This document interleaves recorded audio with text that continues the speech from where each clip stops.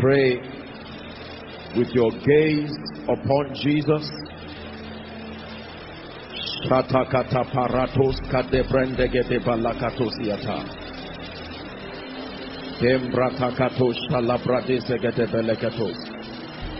We bless you.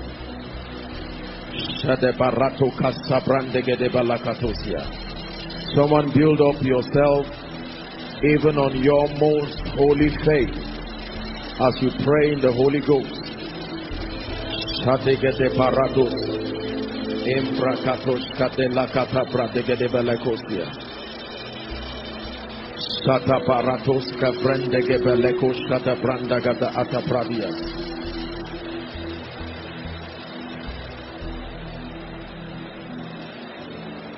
Someone is praying.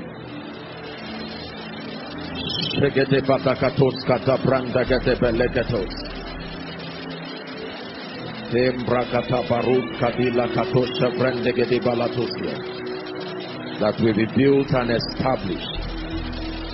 Built and established in knowledge. Built and established in power. Built and established in wisdom.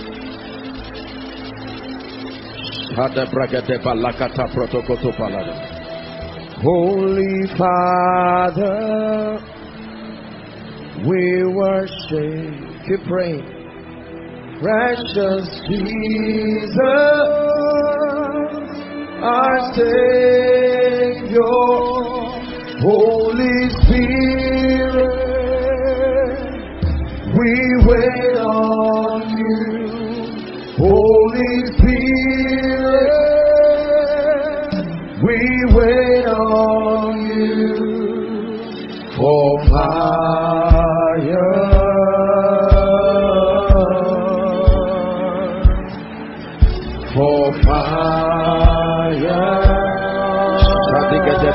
belekatos kapranda gasko de la.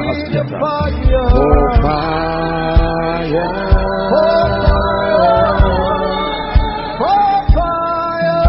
For fire.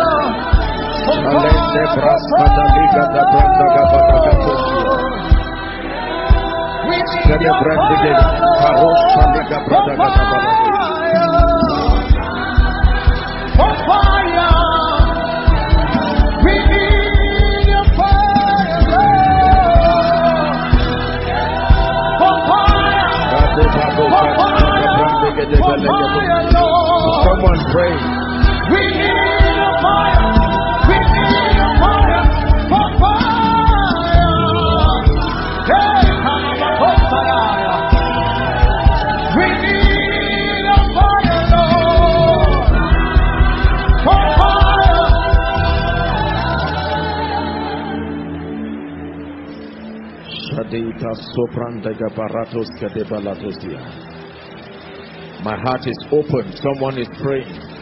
My spirit man is open. Open to receive. Open to be blessed. Open to be changed. Open to be healed. Open to be to, to be delivered.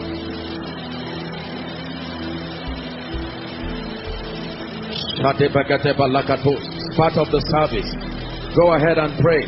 You can hold the hands of someone by your left and right.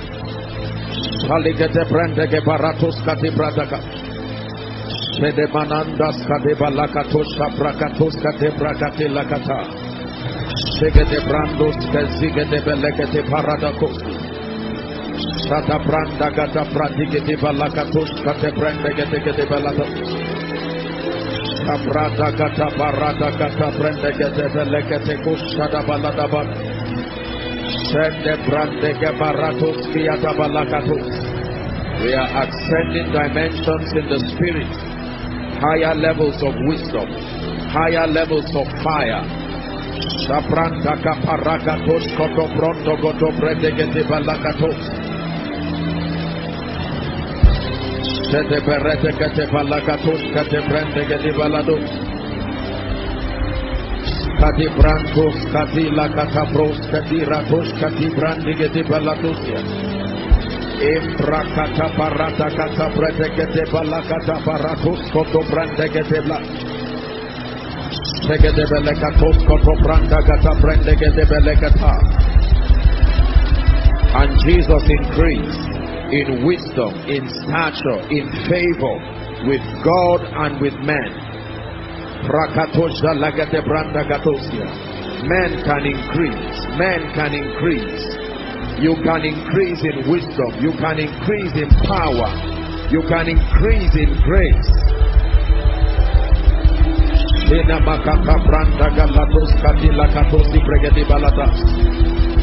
The hearing ear, the seeing eye, the discerning heart, I receive tonight.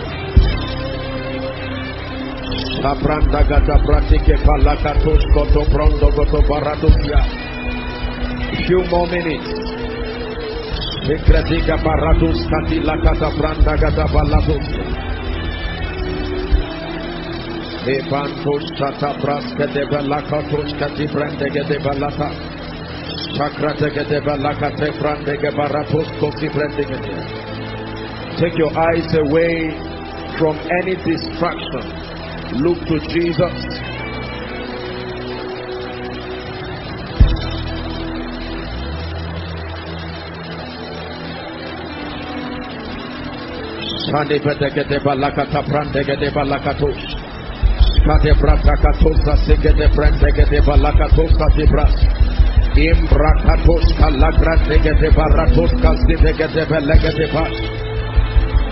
Sebrantos braskede balakata bredegede belegeta. Sebrakatus kati kati balakatos kati krete.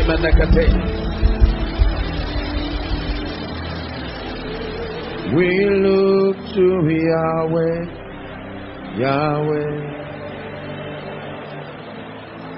Our hope is Yahweh, Yahweh. We look to Yahweh, Yahweh. Forever Yahweh, Yahweh. We look to Yahweh, Babakusta de Brandega de Balakatusia. We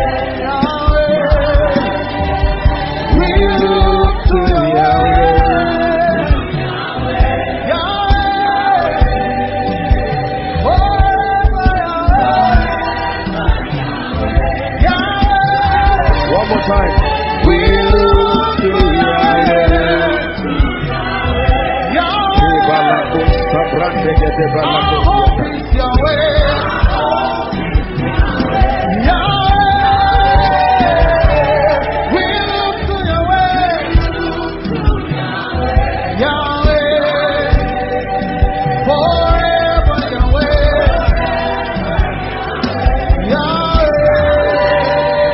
Hallelujah. Father, give me an encounter tonight. Go ahead and pray. Give me an encounter even by your spirit. Someone is praying. Answer questions tonight in the name of Jesus. Give me answers. I came to receive answers from the throne. Send me help from Zion. Release testimonies to my destiny tonight. For someone, your prayer is have mercy upon me.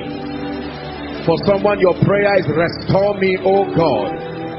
For someone, your prayer is increase me, O God. For someone, your prayer is like Jabez. Oh, that thou wouldest bless me and enlarge my coast.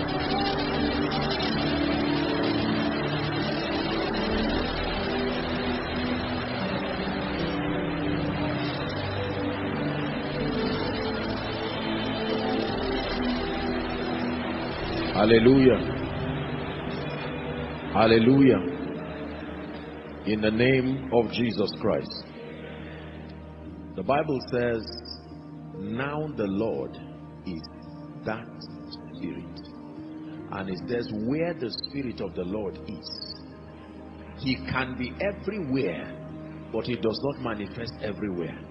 But if you do find that place where the Spirit of the Lord is, he says you will know he is there because there will be liberty. Liberty. And then he says, we all, listen carefully, with unveiled face, beholding him as in a mirror. It says we are changed. We are changed. Everybody here understands a mirror and what it does. If you want to look excellent, if you want to vet whether what you are doing or your, your look is good or bad, you go to the mirror. And as you look at the mirror, it gives you the basis to begin to make adjustments. Is that true? Yeah. There may be a few materials on your head or on your cloth you may not easily know until you stand in front of the mirror. When you stand in front of the mirror, you will now begin to make adjustments. So the Bible says, as we behold him, you know what happens when we behold him? When we behold him, we see ourselves as should be, not as it is. So when you look at the mirror, the mirror will reflect something back and tell you you should not be at this level. And then, like you correct yourself when you're looking at a physical mirror, you begin to adjust. When you look at the mirror, you will see how your finances should be. When you look at the mirror, you see how your spiritual life should be. I'd like you to pray one prayer. Open my eyes to see. Lord, I need to see things as should be. Someone is praying. I'm here to look at that mirror. We've come to draw Draw, draw, draw from you again.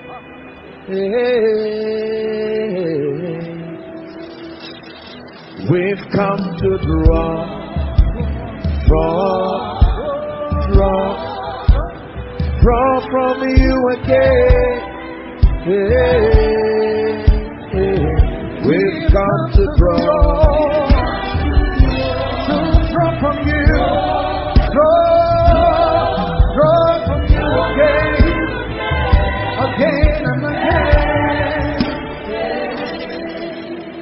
Hallelujah. Look up, please. And you see, sometimes the mirror does not only help you to adjust, the mirror also reveals. There can be times that you are looking for something that is even on your shoulder and you may not know that the other the stocking is there and you are searching around but when you look at the mirror you can see that it's been closer to you all the while that have been searching around looking from pillar to post whereas what i've been looking around is within reach it's only because i could not look through the mirror the mirror reveals Father, reveal. It can't, it can't. Listen, you need to pray and say, Father, whatever it is that I've been searching around for, you are too merciful to make me go on that journey. There's something I'm not getting right. Show me. Show me. Someone pray. Let it be from the depth of your heart. Show me. Let that mirror. Someone is crying unto God. Take the meeting serious. Don't look around. Pray. Show me. Let the mirror reveal. Let the mirror reveal.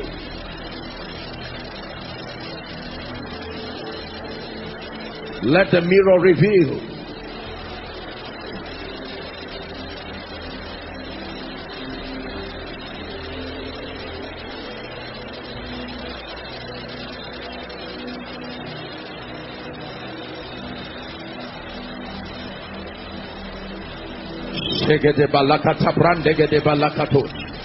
Oh, let the mirror reveal. Let the mirror reveal something about my destiny.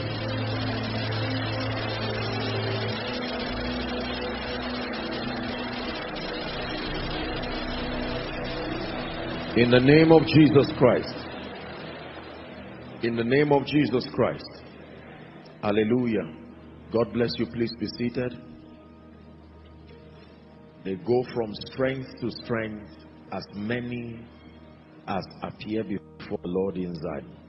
It is important for you to realize that you are changing. You must believe it as a revelation that you are changing.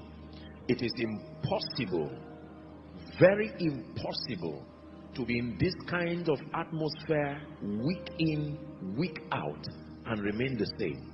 You may not see it. The same way you may not know what is happening to the seed that is sown in the earth, but something is happening. Hallelujah. Realize that you are changing. The Bible says that we live in this kingdom through food and through words. If you eat physical food alone, you will not live well. You need food and words. Man shall not live by bread alone, he says, but by every word that proceeds from the mouth of God.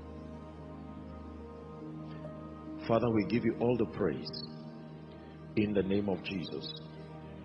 It will not tire me to encourage us to be very intentional and to be very serious about every service, every meeting. By the privilege of God's grace, every meeting is tailor-made by God himself and by the privilege of wisdom to attend to specific areas of our lives. Hallelujah. I can assure you of one thing as I would always say, you will never come for any service where you will leave and say my time was wasted. No. Hallelujah. He said, I was glad when they said unto me, let us go to the house of the Lord. You can go to a place that looks like the house of the Lord and return back knowing it was not the house of the Lord. But if it is the house of the Lord, there are many things that must happen there. One of it is enlightenment, growth by the wisdom and the power of the Spirit. Hallelujah. I want you to pay very close attention to tonight's teaching keys to destiny fulfillment. I want to teach and then we'll pray. We'll be praying many times in the course of the teaching. Keys to destiny fulfillment. The Lord is going to be answering a lot of questions tonight. And I pray in the name of Jesus Christ that at the end of this service, someone will walk out of this place rejoicing. In the name of Jesus Christ. By reason of this teaching, someone's mourning will be turned to dancing. Someone's sorrow will be turned to joy. In the name of Jesus Christ.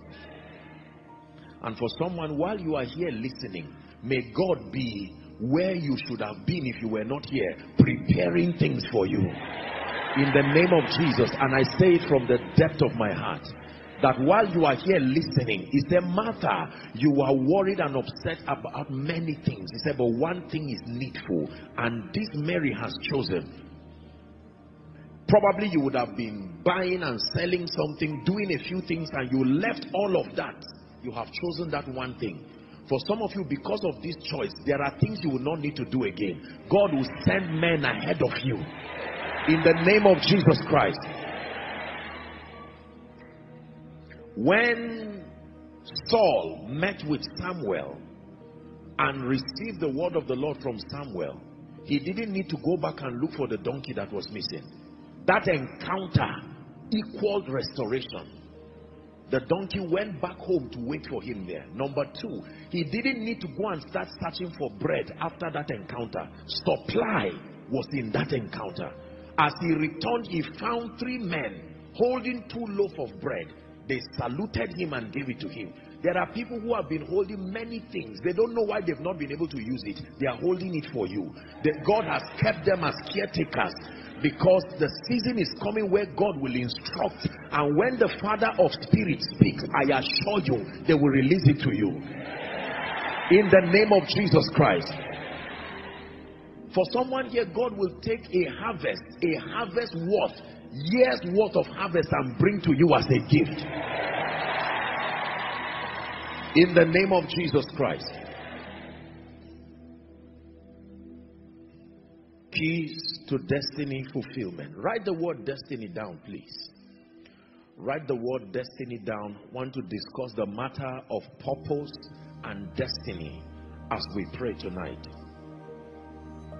There are many people today who live purposeless, visionless lives, defeated, in utter frustration, and many of them would tell you sincerely that it seems like they are looking for something meaning, relevance in their lives.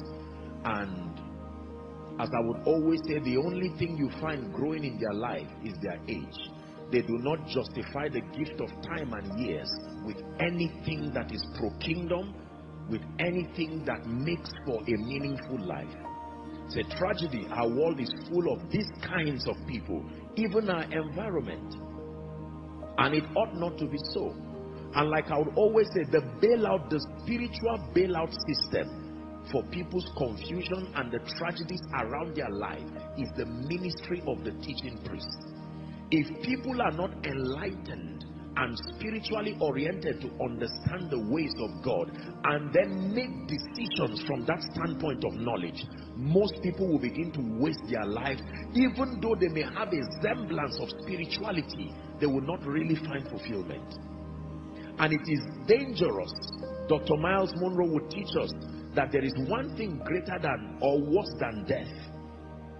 To live without a life of purpose, a life of fulfillment. When you are alive and you are just existing, that your life is not counting, your life is not making any impact at all. Hallelujah. Destiny very important word. What is the meaning of this word destiny? Please write. Destiny generally means a predetermined future. When we talk about destiny, we're talking about a predetermined future. Generally speaking, destiny refers to a predetermined future. For the believer, destiny means God's predetermined plan purpose and place. God's predetermined plan, God's predetermined purpose, and God's predetermined place for you in His program.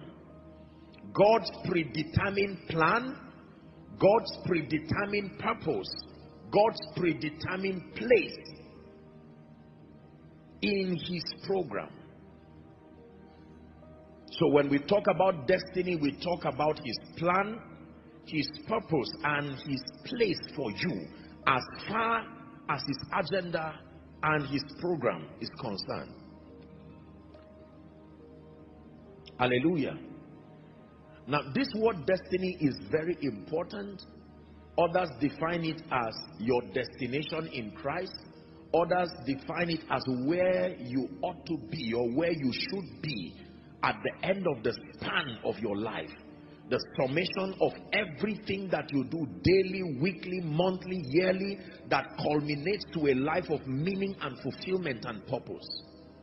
There are many people who just enjoy the passage of time and they pass along and never understand the concept of destiny, nor the keys allocated to fulfilling their glorious destiny.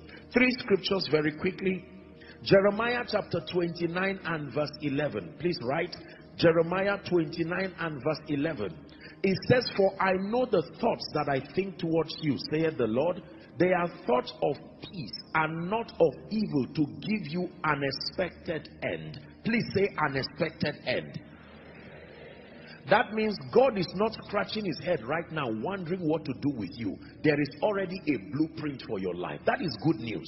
Because regardless where you are and what challenges you have in front of you now, the Bible says there is an expected end. Are we together? Now, for some of you who watch movies, sometimes when you're watching movies, you're kept in suspense, especially if a, a movie that is a new release and you can be watching and you want to you you wish that you knew the end you know and the suspense you're you're being captured in that suspense and you're watching what will happen to this. But when the movie director or the owner of the project as he sits to watch interestingly he will not be as excited as you as far as um, he will be excited to see his work blessing you but he won't be in that kind of suspense you know why because he designed the entire thing from start to finish So while that suspense, your heart is pounding, you are standing, not knowing when you are holding your pillow, and all kinds of reactions, the person is just watching with calmness. You know why? It was the music, the, the, uh, the, the movie director. God isn't in the panic. Just because you are panicking about your future, don't you think God is joining you in that panic? He's seen the end of it. Are we together? While you are wondering what will become of my life in 2022, what will become of my life in the next 10 years, sometimes we are tempted to think because we're in panic and shouting, God is joining us in that lamentation. Remember, He's called Alpha, Omega. He does not just see, He designed the end Himself. It's not like someone designed it and gave him the privilege to see. It is his design. It is his wisdom. And he says here in Jeremiah 29, 11, I know the thoughts that I think towards you. They are thoughts of peace and not of evil. It's important to know that in God's plan for your life, he did not prepare evil, meaning he did not prepare shame, meaning he did not prepare pain. Anything that makes for an, an eventual destruction of your life is not part of God's program. An expected end. Second scripture. Ephesians chapter 2 and verse 10. Ephesians chapter 2 and verse 10. Here's what the Bible says. We are his workmanship do you know what that means? The tools that he uses for exploits. We are his workmanship created in Christ Jesus unto good works, which God had before ordained that we should walk in it. Is someone reading? God ordained, he legitimized that you should walk in them. So God is not wondering what to do with my life and your life. God is not hoping that by the time you get your attention then he gets your attention then he will now start thinking of what to do. The bible says that he had already ordained that we should walk in them. The last scripture hebrews chapter 10 and verse 7 these are all scriptures that validate scripturally the reality of this concept of destiny. Then said i lo I come in the volume of the book. It is written of me to do thy will, O God. Lo, I come in the volume of the book, not just in the volume of my wish, my desire. It's been well documented all that I would come to do. Hallelujah. Everyone, please say after me. Say, I was born for a reason. You will think what I'm saying is very simple until um, I begin to unveil certain things for you in the course of this discussion. Say it again. I was born for a reason. One more time. Let the devil hear you. Let the altar wanting to fight you hear you. Now, it is dangerous if you were not born for a reason. I was born for a reason. That means I refuse to die just like that. I was born for a reason. Are we together? And then it's important for you to know that you have a destiny. You have a destiny even in Christ. Facts about destiny. I want to give you three very powerful facts. That there are many, many facts to know about destiny. But I handpicked three that are very important for our discussion tonight. It is not enough to just know um, generally about destiny, you have to understand that there are a few facts. These truths represent the foundations for actualizing destiny. Number one, every man was born for a reason. Every man. This is this is the the first fact about destiny you have to understand. Every man was born for a reason.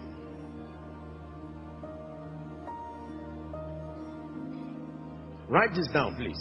Still under that point. Your purpose for existence represents the solution you were sent to bring to our world. Your purpose for existence represents the solution the solution you were brought to bring or give to humanity so every man was born for a reason. Your purpose for existence is the solution you were born or brought to bring. Very, very powerful. Every man is born for a reason. Every man is born for a reason. You have to know this fact. Romans chapter 8 and verse 30. Romans chapter 8 and verse 30. The Bible says, Moreover, whom he did predestinate, is it in your Bible? Them he also called. And whom he called, he also justified. And whom he justified, he also glorified. One more time, prophesy, I was born for a reason. John chapter 18, please. From 37 and 38. John chapter 18. Pilate, this was Jesus before Pontius Pilate. Pilate therefore said unto him, Art thou a king then? Jesus answered, Thou sayest that I am a king. To this end was I born. And for this cause came I into the world. That means I didn't just leave heaven to come and roam around the earth. To this end was I born, and for this cause came I into the world, that I should bear witness unto the truth. Everyone that is of the truth heareth my voice. 38. Next verse now. Pilate said unto him, What is truth? And when he had said this, he went out again unto the Jews and said, I find no fault in him at all. The moment the issue of purpose and destiny came, there was no basis for accusation. For as long as this man was in purpose, he could not find anything against him. For this cause I came. This is the reason why I was born. So fact number one, every man Every man is born for a reason. Your purpose for existence represents your solution that God brought you to give to your world. Fact number two, please. This is very important.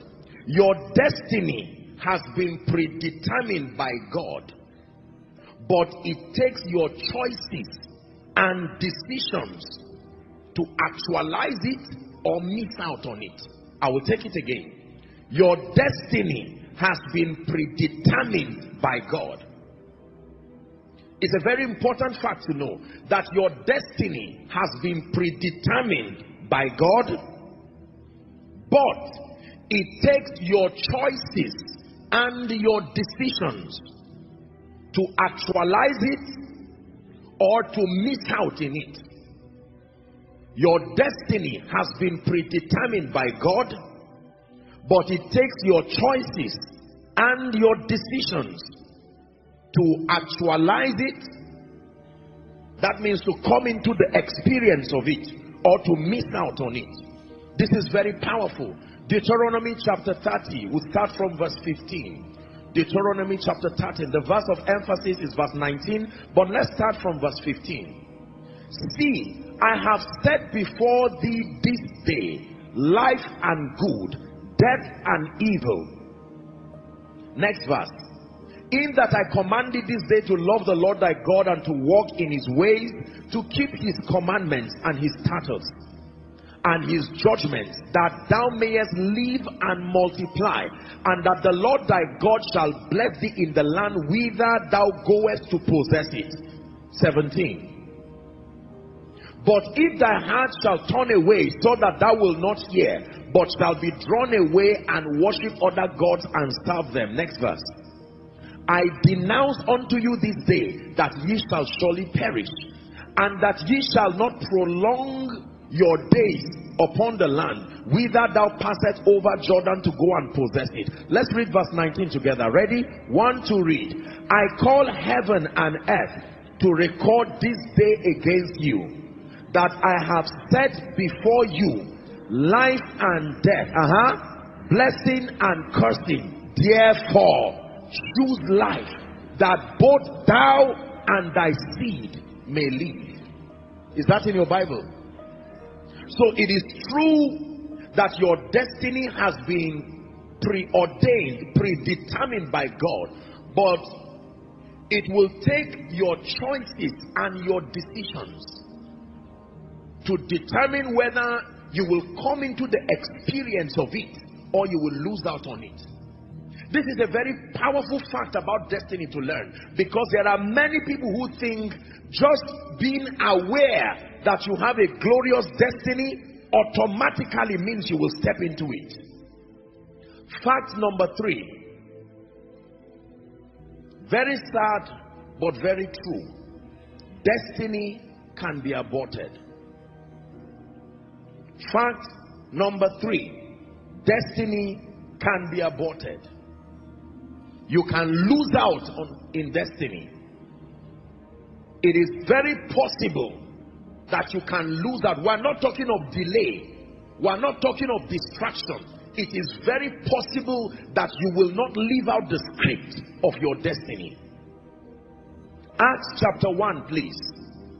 Very quickly from verse 15. Acts chapter 1 from verse 15. And in those days, Peter stood up in the midst of the disciples and said, the number of all of them together were 120. Uh-huh. Next verse. Men and brethren, he said, this scripture must needs have been fulfilled, which the Holy Ghost by the mouth of David spake before concerning Judas, which was guide to them that took Jesus. 17. For he was numbered with us and have obtained part of this ministry. Is it in your Bible? He was numbered with us and did what? Obtained parts. That means a portion of impact was given to him. 18. Now, this man purchased a field with the reward of iniquity. Say choices. Say decisions. And falling headlong, he burst asunder in the midst, and all his bowels gushed out. Next verse. And it was known to all the dwellers at Jerusalem, in so much that the field is called in the proper tongue, Akeldama, which is to say the field of blood. 20. For it is written in the book of Psalms, let his habitation be desolate, and let no man dwell therein, and let his bishopric let another take. Keep that scripture there. Was anybody's name mentioned there? Somebody used the power of choices and decisions to activate that prophecy. There was no name of Judas written there, but somebody used the power of choices and decisions to attract a prophetic word that David said without even knowing what he said. It is written. 21. Wherefore, of these men which have companied with us all the time and all of this and that 22 beginning from the baptism of John unto that same day as he was taken to heaven must one be ordained to be a witness with us of his resurrection next verse it says and they appointed two called Barsabbas Joseph called Barsabbas who was surnamed Justus and Matthias 24 now and they prayed and said, Thou, O Lord, which knowest the hearts of men, show us which of these two. We're reading to 26. Next verse. That he may take part of this ministry and apostleship from which Judas by transgression fell. By transgression, not preordination. He's losing out on the ministry was not preordination he used the power of his choices to destroy the potential to be called Apostle Judas. Only God knows what else would have learned about God from his apostleship. Are we together? Last verse, 26 now. It says, And they gave forth their lot, and the lot fell on Matthias, and he was numbered with the 11 apostles. Question Do you see there that Matthias, Matthias was not out of the 12 people Jesus chose. He did not choose Matthias to be the 12. Is that true? Yes.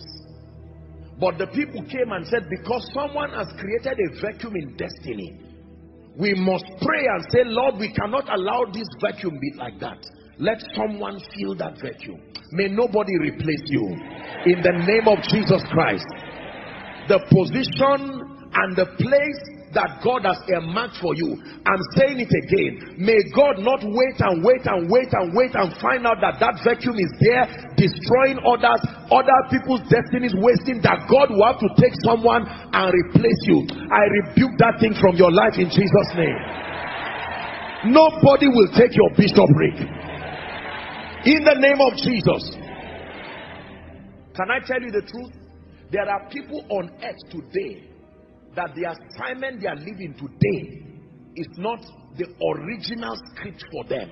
They were so faithful in their own, God still added the assignment of unfaithful people and multiplied grace upon their lives.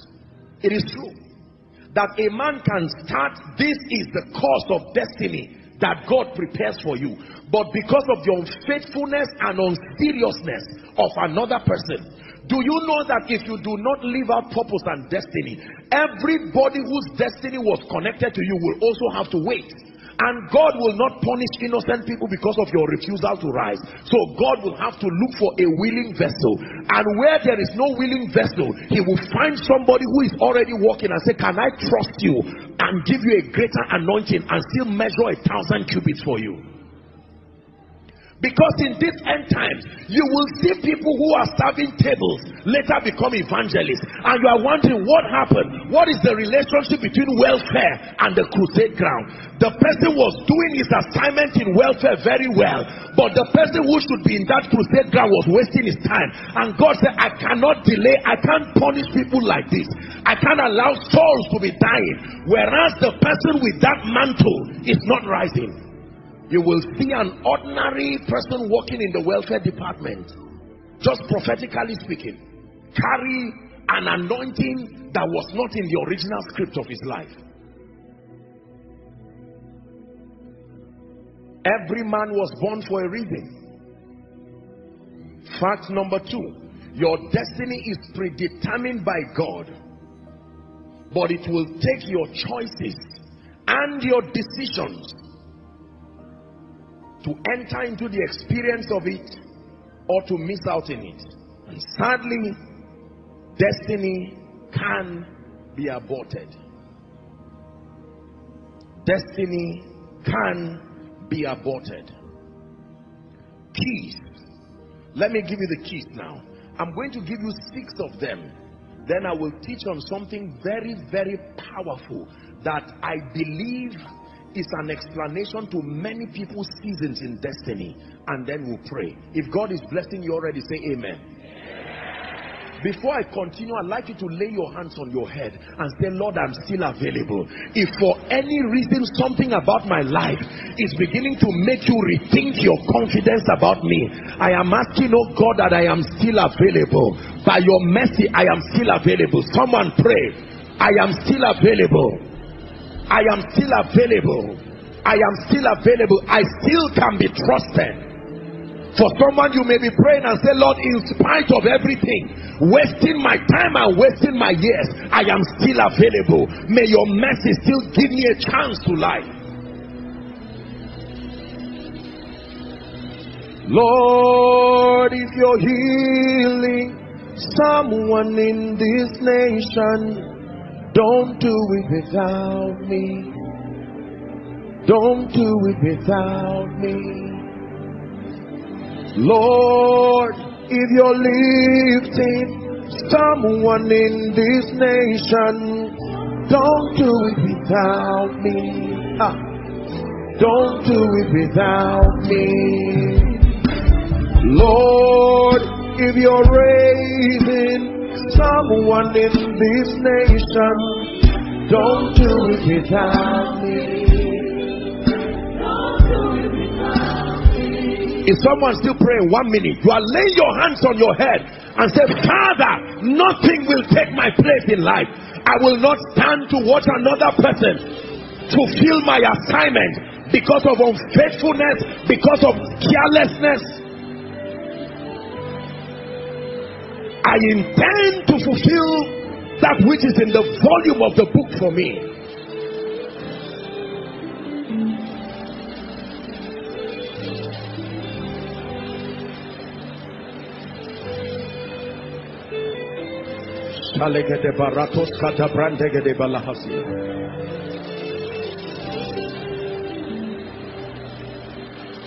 In the name of Jesus, the Son of the living God.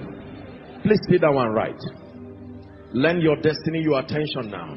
I want to give you six keys. Really, about seven. Number one. Are you ready?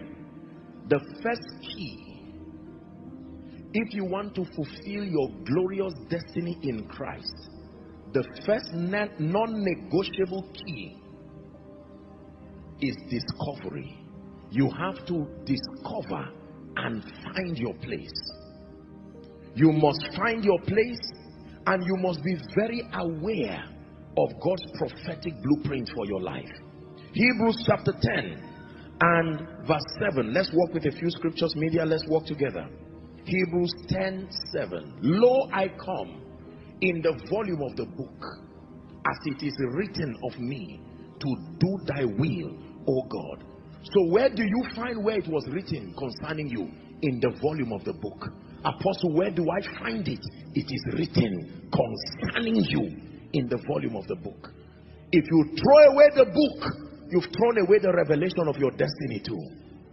You throw away the book, you throw away the revelation of your destiny. Where do we find our destinies in Christ?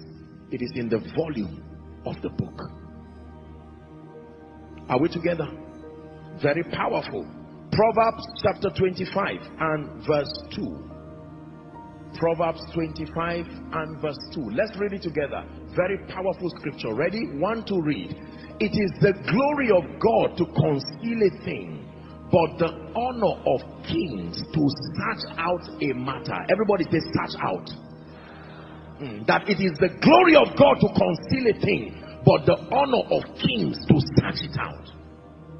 How do I find my destiny? Search it out. You search it out with scripture.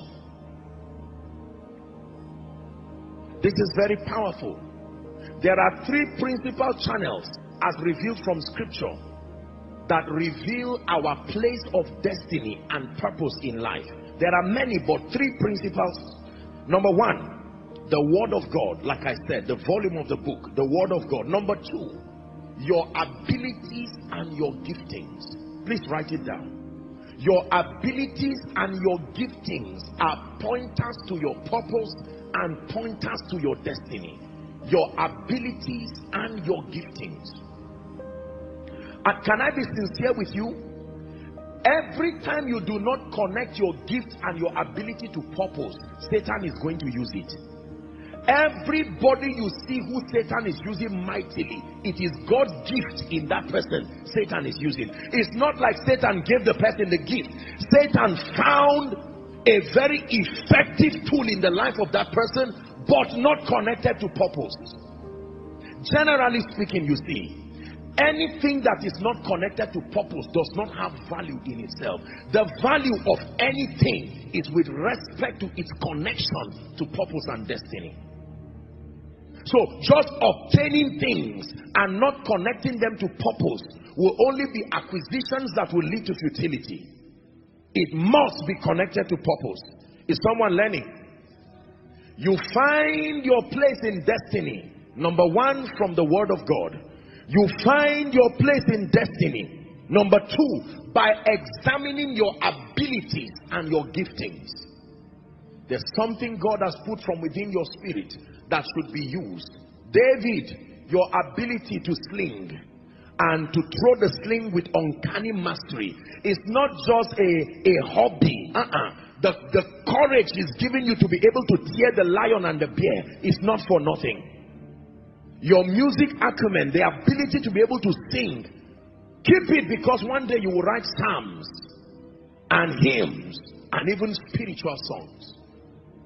Listen, you must make a commitment tonight that everything God has put within me, I must identify it. It is amazing how that so many people have not taken the time to carefully and gratefully search out the many valuable abilities and giftings that God has put within their spirit. Anytime you do not discover your giftings and the things that are valuable within you, you know what Satan will do? He would make you feel less of yourself and you will begin to admire people that you do not even have, who do not even have the, the components of value that is within you. There is nobody who does not have an ability from God. Hallelujah. Is someone learning? Very powerful. One of our one of our little ones came the other time. I think I was teaching in school of ministry and something very interesting happened. The young lady came to me and she came and tapped me and said that they were listening to my message and she told my she told her mother that apostle is not pronouncing purpose well that is purpose not purpose i was watching the girl i said oh dear you see now my mind i said all right so may god raise her to become a public speaker or become a woman of god i mean she's already there if at that age so she came and she was trying to she was trying to correct me to let me know that this is how they pronounce it properly i said ah these are the people who went to school now are we together? Let me tell you where most of you buried your giftings. It came because of the tragedy of your foundation. Did you hear what I said? The tragedy of an inaccurate foundation. Some of the giftings that were finding expression, it was the Holy Spirit revealing them to let those around us know that this noise making ability is not just talkativeness. There is something in it. It's been mismanaged but this is a baby revealing something. There were children with different abilities that if parents had the discernment to identify.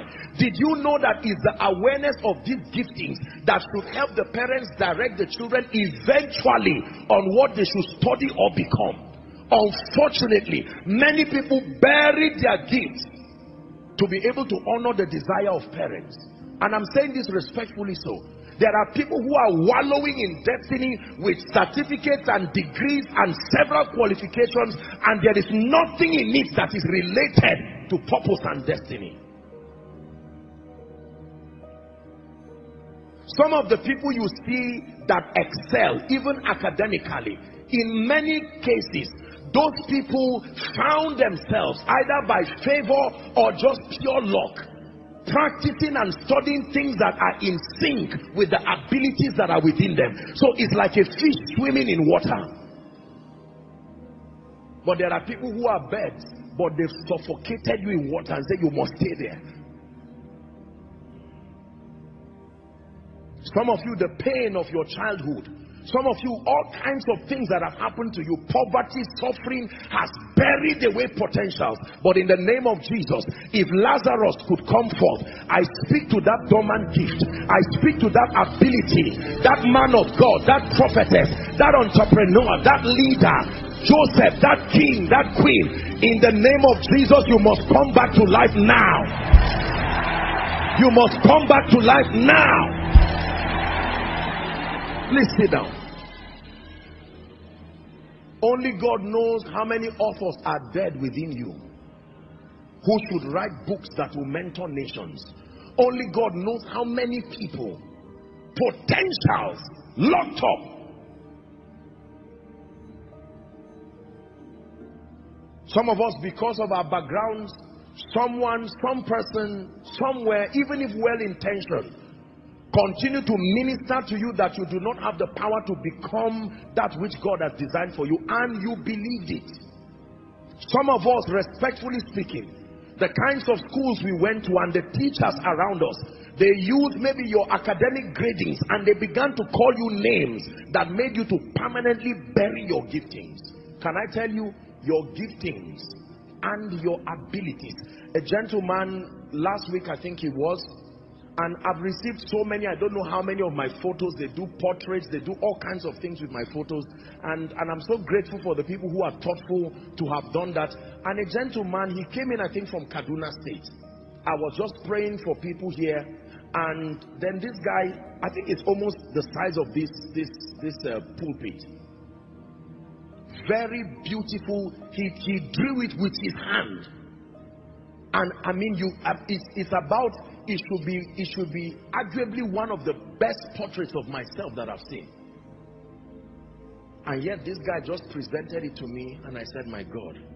And there are many, many, many people who will pay millions of naira to someone if they can find a person who does this. But you will be surprised. Almost all the people within that person's family, they just know that he's carelessly doing something. Do you know? Let me tell you, Africa, we must wake up. The, the, the spirit that makes us to destroy great visions at infancy, I curse that spirit in Jesus' name.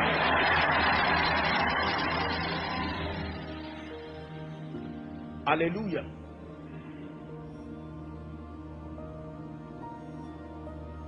Discovery. So, number one, the word of God helps you to discover your place, your purpose, your destiny. Number two, your abilities and your giftings. Inherent abilities. Write them down. Know them. Number three, service. One of the most powerful channels and platforms to find your place in destiny is service. Even service in the house of God. There are many people today who may not really know what it is that is within them until service gives them an opportunity to reveal it. Is someone learning? Very, very important. Number two, let's hurry up. What is the second key if you want to actualize destiny? Are you ready? Determination. Don't downplay these keys you are receiving. Many have trivialized it to the detriment of their destinies determination. You must be determined to succeed. What is determination? Unbendedness in pursuit. That means I am not giving up until I see my destiny become what God showed me in that vision. You may weep, but please don't stop till you look just like Him. You may cry, please don't stop till your life looks like him. You may weep, please don't stop till your life looks like him. You may fall, please don't stop till you look just like him. Determination. Philippians chapter 3, please, and verse 13. Unbendedness in pursuit. That means you have set your face like a flame. 3.13 Philippians. Brethren, I count not myself to have apprehended, he says, but this one thing I do. You know people of purpose and destiny because at every point in their life there is the one thing they are doing.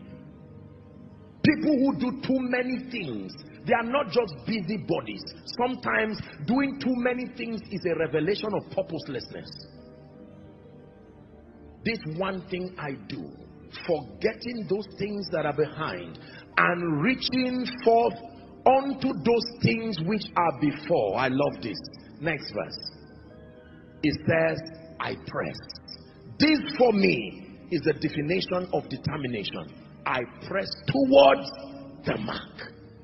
I press towards the mark. I press towards the mark. That means nothing will stop me. If God has said there is an entrepreneur, God has said there is a man of God, God has said there is a worship minister to sing his praises to the nations, then I press towards the mark. Can I tell you? Determination requires courage because for the most part of your journey you will be alone. Don't expect people to believe in you at the infancy of your vision and don't blame them if they don't believe in you. It is at the end the vision speaks. So for the most part of your journey to purpose and destiny, you will walk alone, but find comfort. That though I walk through the valley of the shadow of death, he says, I fear no evil, for thou, not for you people, for thou. There is just one person you need to verify. Is he here with me? Apostle, I'm unable to rise because nobody believes in me. You are not alone. Keep moving. Apostle, but I think people like you.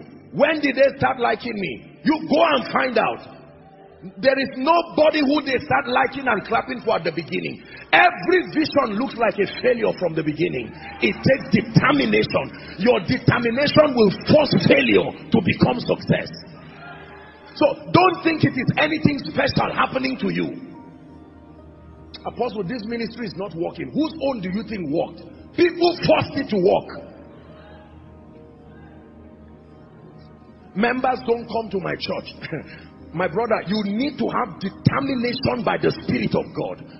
All this free lunch mentality is why we don't have champions in the kingdom. A crave for sympathy and endorsement, you must sustain the courage to walk alone. But when you win, I assure you, you will not clap alone. Can I tell you this? There are few people in life who will be around those who are starting. They are called burden bearers. And if you've read your Bible, there are not many. That's why I told you to pray for them. But I'm telling you, you must trust the Holy Spirit as the chief burden bearer and be sure that if he's there, fire on.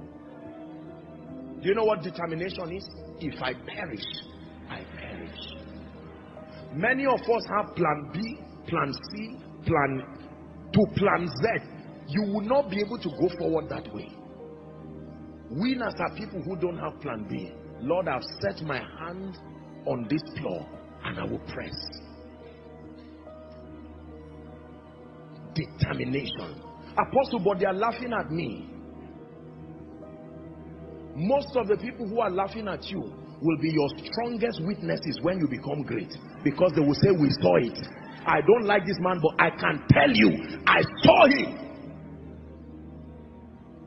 Can I tell you this? I'm praying tonight that God will take away this chicken heart of fear. Fear of what people will say. What will people say? Take that thing away and you need a lion's heart if you want to be great. Whether you are Jesus or Satan, people will talk. They talk about Jesus, they talk about Satan. Who are you that you, you are in between somewhere? Whether you backslide, whether you maintain your work, they will still talk about you. Listen, we live in a world that is so obsessed with it. It's important to preserve your integrity and all of that, but let me tell you the truth.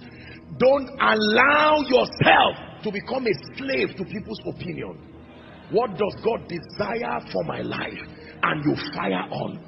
I know God has called me to be a man of God. And someone looks at you and says, now for you, you preach a sermon and for the first time I slept in church. No problem. Let him mock you.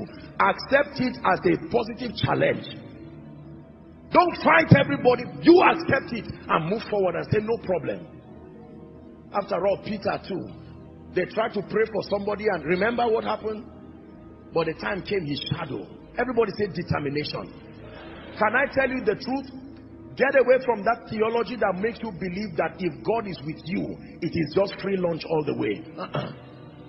You've heard, it's a popular saying in the body of Christ and it's been so for many years, that faith does not just make things easy. The assignment of faith is to make things possible, not easy.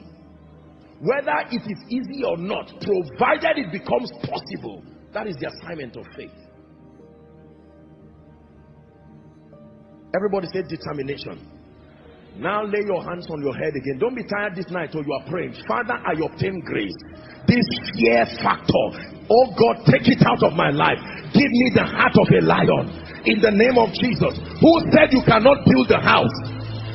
In the name of Jesus. Who said you cannot move from a tenant to a landlord?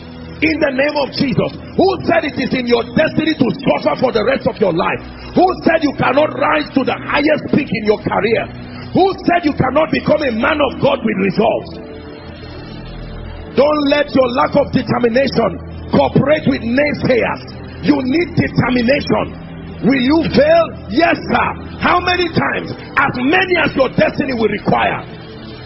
But you have to obtain grace. God is speaking to someone tonight. Shake off that limitation. Shake off the excuses. I obtain grace to be determined. Hallelujah. God bless you. Please sit down.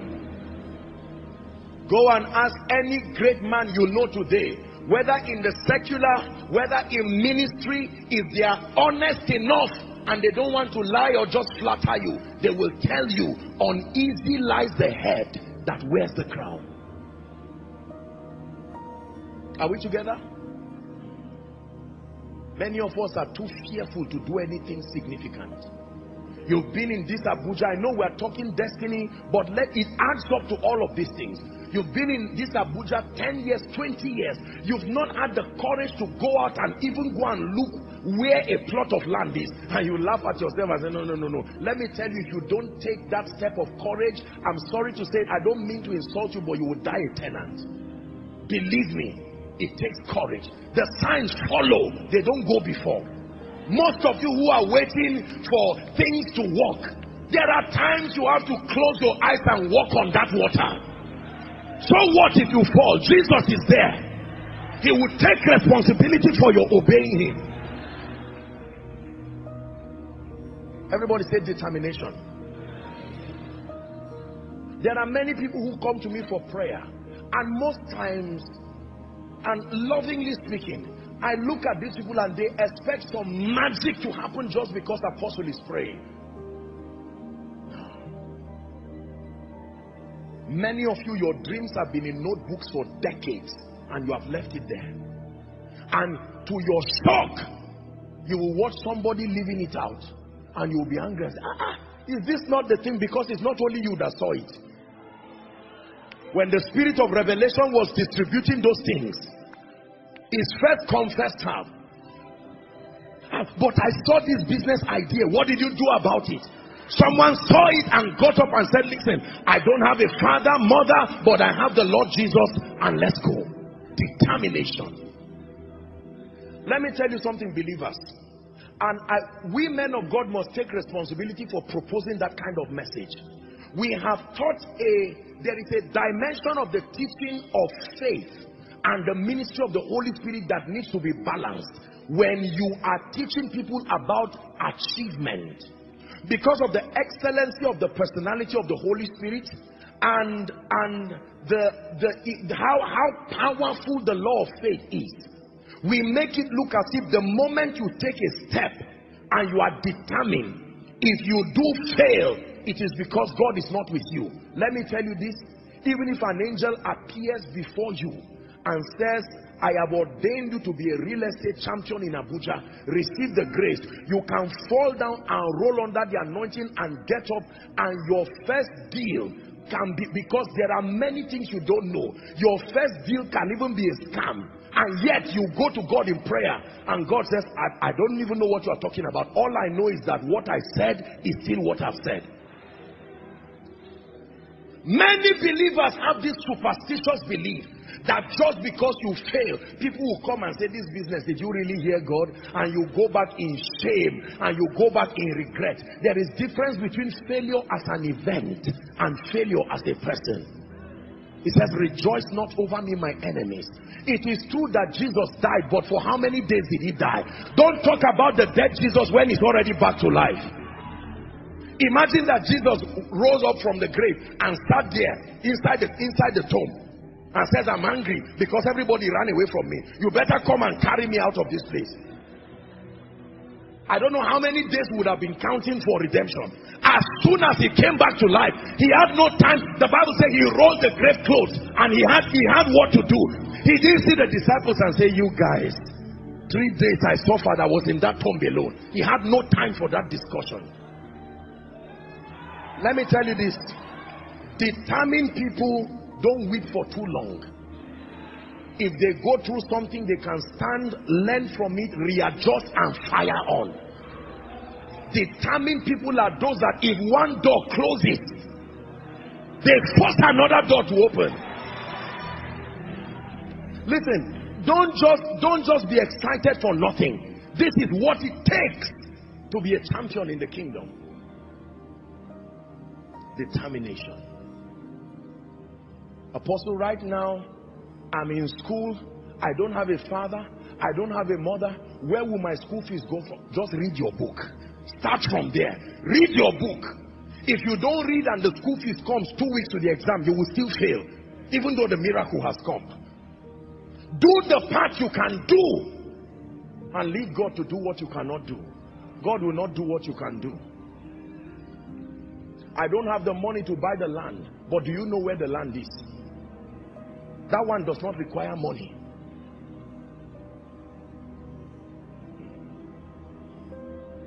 Is God challenging you? Apostle, I'm just waiting. I don't know who will give me money. Oh, let me build my church. who will give you money? Do you need money to fast? Do you need money to pray?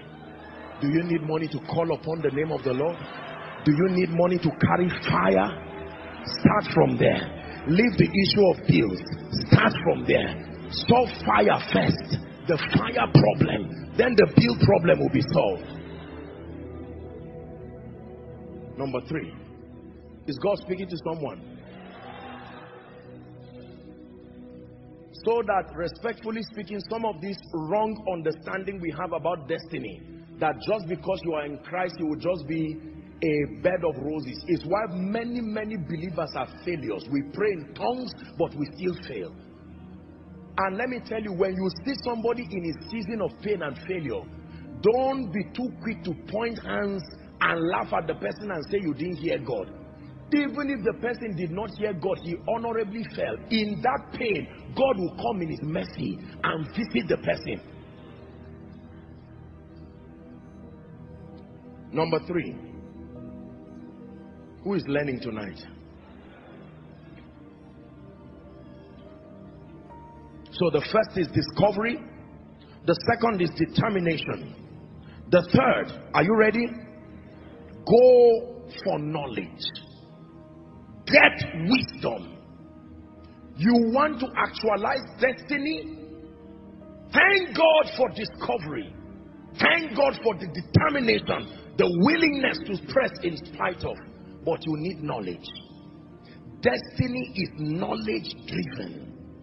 Destiny is knowledge driven. Oh, this is very important. This is very important. Ecclesiastes chapter 10 and verse 15. Three scriptures quickly. Please give it to us. Ecclesiastes chapter 10 and verse 15. Ready? Please read. One to read. The labor of the foolish wearieth every one of them. Why? Because he knoweth not how to go to the city. Not because there is no path to the city. It is painful to see your destiny and yet not know the requisite level of knowledge. Every result I have taught you in the kingdom, every pathway you need to take, there is a requisite level of knowledge, wisdom that it takes for you to actualize it. Now, let me tell you the truth. It is in this area of accessing knowledge that men are separated from boys because knowledge is not a gift you buy the truth, it will cost you. We live in a world where we are obsessed with gifts. Give it to me. Make it happen. Why don't you write all the points for my destiny and come and spoon feed me with it? Unfortunately, it does not work like that. Everybody say, buy the truth. You must go for knowledge. Very, very important. Proverbs chapter 24, please, from verse 3 and 4. Still on the third point, go for knowledge, get wisdom. The Bible says through wisdom, please give us amplified. I love the rendition of amplified of this very scripture. Proverbs 24, 3 and 4. Look up please. It says through skillful and godly wisdom is a house, a life, a home, a family built and by understanding it is established on a sound and a good foundation. Next verse through knowledge and by knowledge shall its chambers of every area be filled with all precious and pleasant riches. Somebody say knowledge. Say understanding. Say wisdom. The major the major activity during the preparatory phase of your destiny will be this right there. Getting wisdom. Getting knowledge your spirit opens to me the treasures of your word, and I will forever sing your praise. Your spirit opens to me the treasures of your word, and I will forever sing your praise. Can I tell you this? The Bible says in Proverbs chapter 18 and verse 1, it says, Through desire, a man having separated himself, that he seeketh and intermeddleth with all wisdom. You need to go for knowledge. Buy books before shoes. Get knowledge before you start getting the adorning of clothes. It is painful to look great and yet be empty. Unfortunately, unfortunately, we live in a world today that does not mind. People can be as empty as a keg and yet you decorate it and it looks so full. I rather look, I rather look, carry a physical fashion that makes you underestimate me and then be full and rich within than to look so successful and visionary and then when you come in you find out that it's an empty gong. Someone shout God forbid. Can I tell you this? You need to invest in knowledge you don't invest in knowledge in a hurry. You need to sit down. What does it take, oh God? You are giving me a global ministry as a man of God, a global prophetic ministry, a global pastoral ministry. Yes, Lord, I have received it. But a global ministry comes with a global burden. I need wisdom, spirituality, leadership, organization, finances. I need to understand this. I obtain grace. When others are snoring and sleeping away their destiny, you are awake. Lord, I obtain grace. Your eyes are sleeping. It looks like two people are sitting on your eyes. You shake it away and say, No way, I'm going far. I obtain grace. May the spirit of laziness be far from us.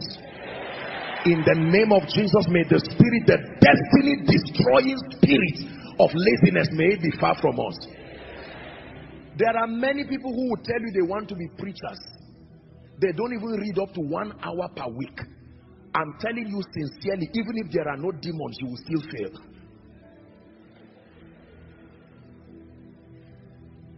Because demons are not the only, demons only account for about 30% or so of real failure. A major part of failure is ignorance or insufficient knowledge. I've taught you here. If you score 35%, you didn't get zero and yet you still failed. Is that true? If the cutoff mark is 50 and you get 48, you didn't get zero, but you will still stand at the same place with those who got zero. Take away shame from your life by investing in knowledge. It is not good to look dull and be dull. Now, I'm not saying this mocking you. Knowledge is, a, is an equalizer. You may not come from a privileged family, I agree. You may not have a persona that is very inviting and you know, but let knowledge equalize you. It's a bailout system. Take away shame from your life and stop all the petty jealousy and sit down. Go for knowledge.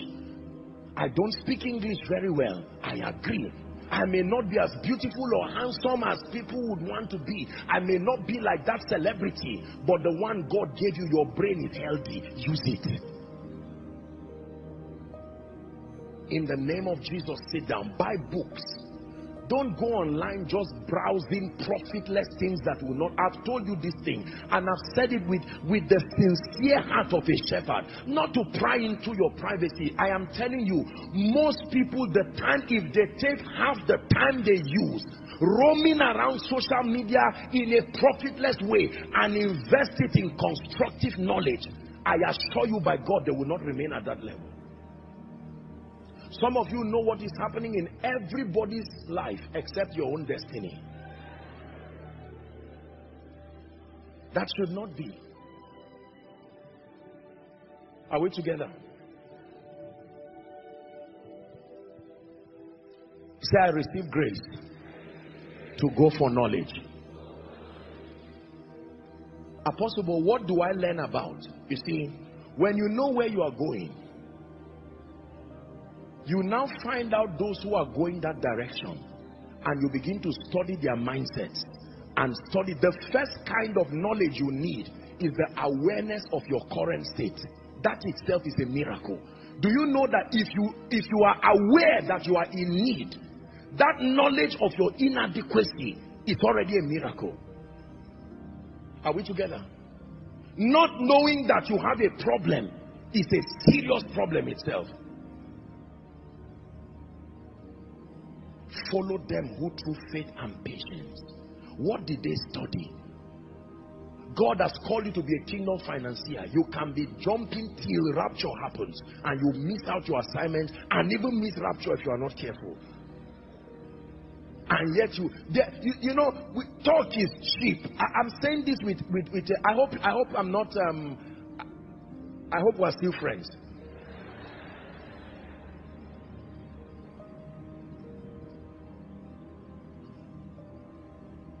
Please sit down. Please sit down. Go back home and sit down. Carry your Bible and look for one book. Apostle, I'm in ministry. What book should I get? Even if you don't know at least go to a bookstore. Just roam around there and see. Holy Ghost, I'm now here. I left my house and the Holy Spirit will take you somewhere I don't have money, oh, at least search. Nobody will query you for searching around. And somebody will come and say, you look like a determined young man. You are looking at that book. It's a nice book. I read it. Pick it up. You'll get both a relationship and favor because you took a step.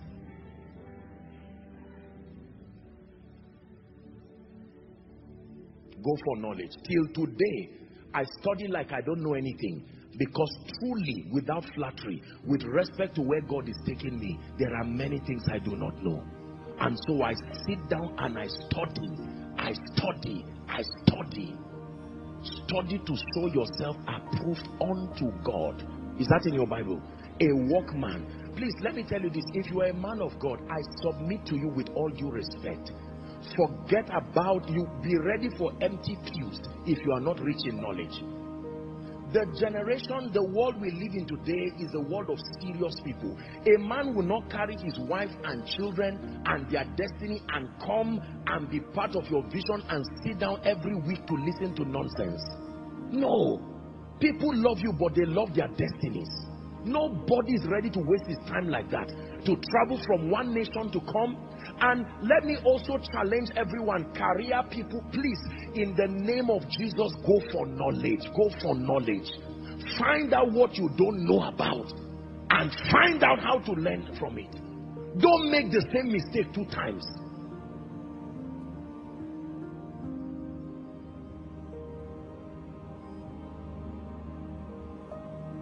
Apostle, I'm broke. Do you know how to be rich? Eh, listen to one message like that. Is it fair that you just carelessly listen to a 20 minute message and actually believe you should be a millionaire from it? Whereas people, people who have been working even in the civil service for 30 years are still struggling to stand. And you just cheapen life like that. No. There are many of us who do not know the real cost of being great. We have downplayed the cost of greatness and reduced it just because of things like favor. Don't forget, by the grace of God, the person talking to you, I understand favor.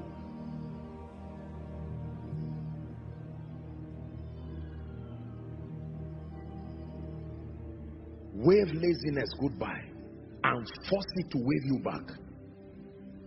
That you, you stand in the name of Jesus. Some of you from this night, gather if i come to your house i don't don't show me the cars and the houses those things are transitory let me see what you're doing with your mind let me see let you can be in that one room with that trouser that is as cheap as whatever with people laughing at you don't worry show me what you are doing and i can tell you where you are going there are many many young people in our nation who are not going anywhere they believe that destiny will just open up because of a bold face. It takes more than that. It takes capacity. Everybody say knowledge. Everybody say wisdom. And can I tell you this? In pursuit of destiny, if God ever by any means makes the job easier for you by granting you access to the minds of those who know what they are saying, please don't trivialize it. Listen. Don't sit down with a champion and be tampering the equation. You are not there yet. You don't have the results. You see, for some people, it is not the absence of helpers or knowledge. It is sheer pride. Africa, for instance, you'll find people who have no result. They are broke, they are poor, they are oppressed, they have no anointing, they have no influence, yet they want to teach you on everything pertaining influence, anointing, prosperity. Let's respect results. Are we together? When I sit in the presence of people who have what I do not have, I don't argue. Even if I don't entirely agree, I have to honor the presence of the results that is before me and listen.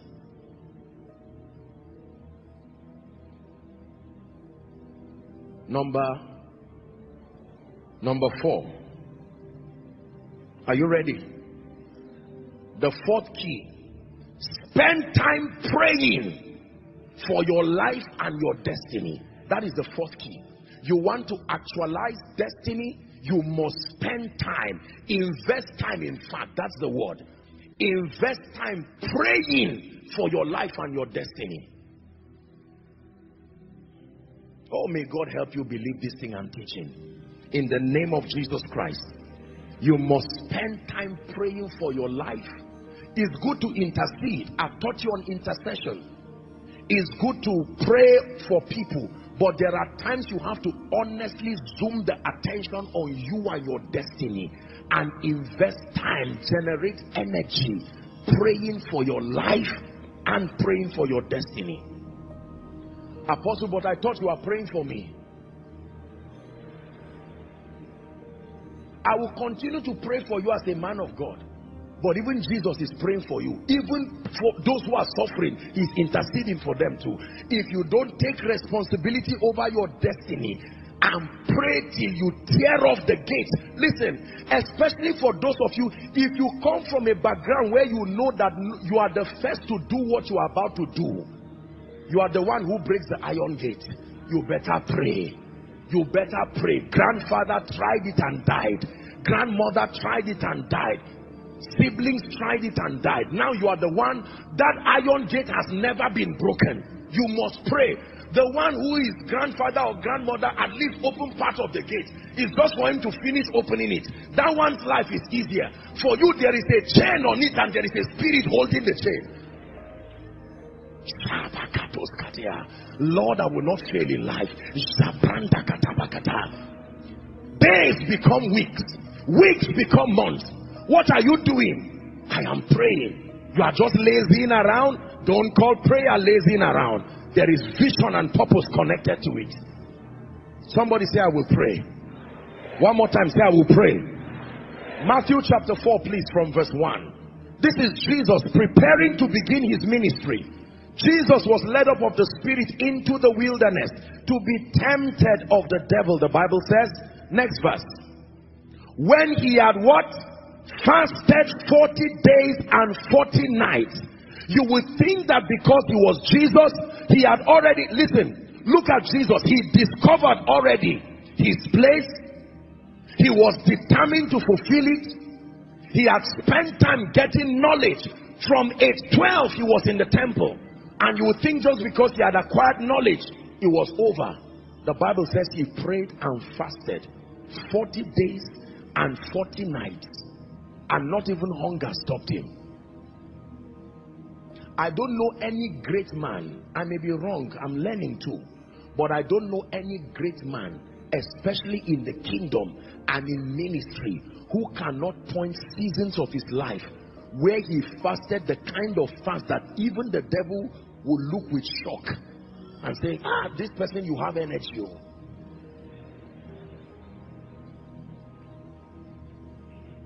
And it's easier to fast when you have not made it yet. That's why it's good to because all the distractions are less.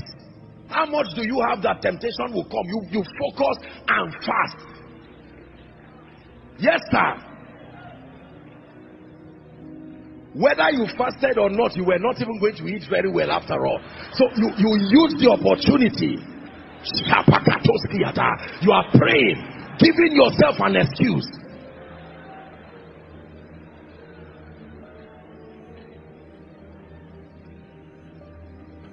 are we together mark chapter 1 please mark chapter 1 from verse 35 mark chapter 1 35 this was Jesus after a busy day. He had started ministry. So we see him praying even before ministry would start. Now ministry started already and he was doing so well. Morning till night, busy schedules. And the Bible says in the morning, rising up a great while. Everybody say discipline. Hmm. He went out and departed into a solitary place and there prayed. There prayed. You must pray. There are forces that will try to fight you from starting. If they cannot succeed, they will be waiting for you at the gate of honor so that they will bring you shame. Don't you think because you started, the devil will fold his arms? The Bible said he left Jesus for a season. Every great man here, listen, let me tell you. If you think because you are great and everything is working everything is fine, think again. Go and ask, there is a skill that maintains greatness. One of it is the consistent fortification of yourself with prayer. People are praying for you, but you must pray for yourself.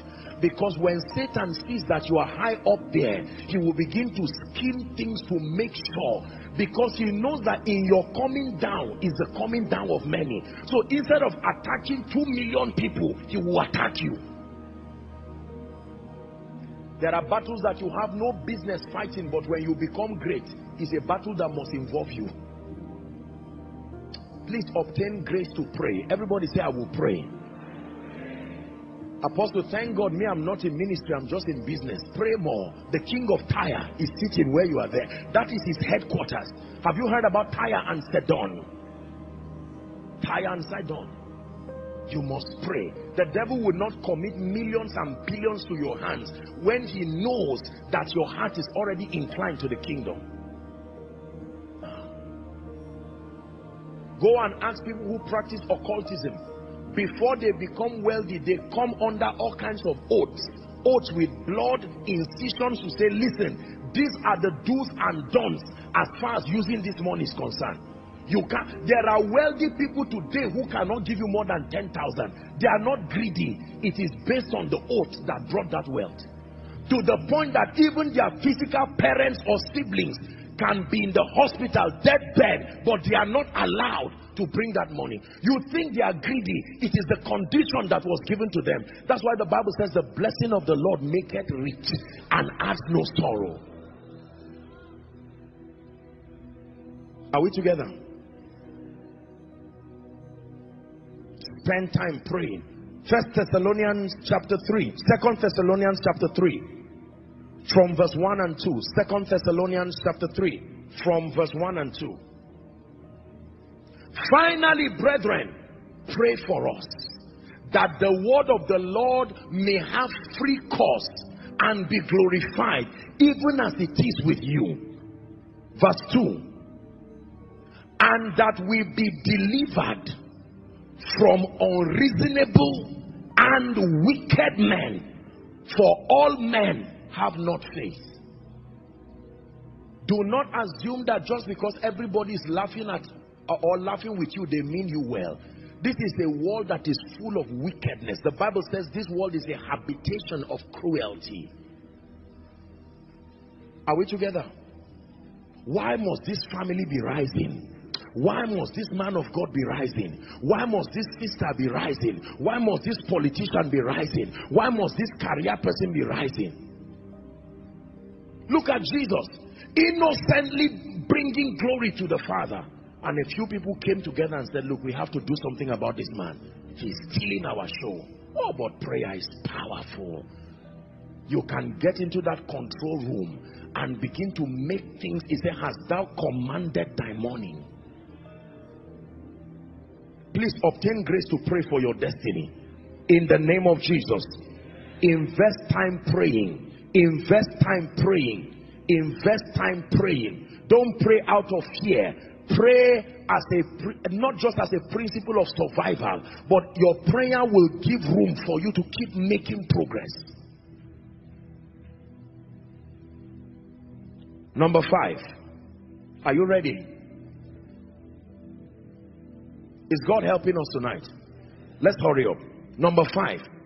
Embrace a life of competence and excellence. Point number five. You want to actualize destiny? You must embrace a life of competence and excellence. Three scriptures very quickly. Proverbs 22 29, popular scripture. Embrace a life of competence and excellence. It says, Seest thou a man diligent in his business, leaves you with an assurance, he shall stand before kings, he shall not stand before average, ordinary, or mean men. You want to rise beyond the average in life and destiny for the sake of the kingdom, you must be diligent.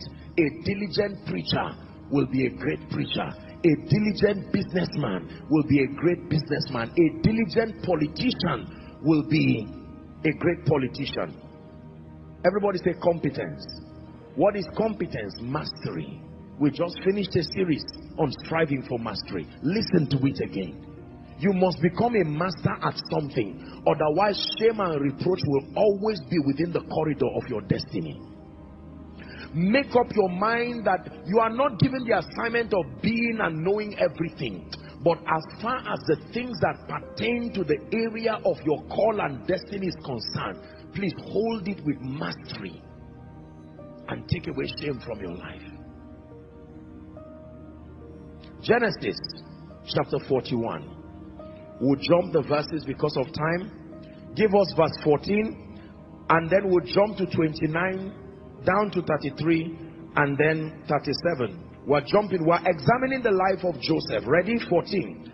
Then Pharaoh sent and called Joseph and they brought him hastily out of the dungeon and he shaved himself and changed his raiment and came unto Pharaoh to 29 now 29 to 33 Behold, there come seven years of plenty. He's interpreting the king's dream now.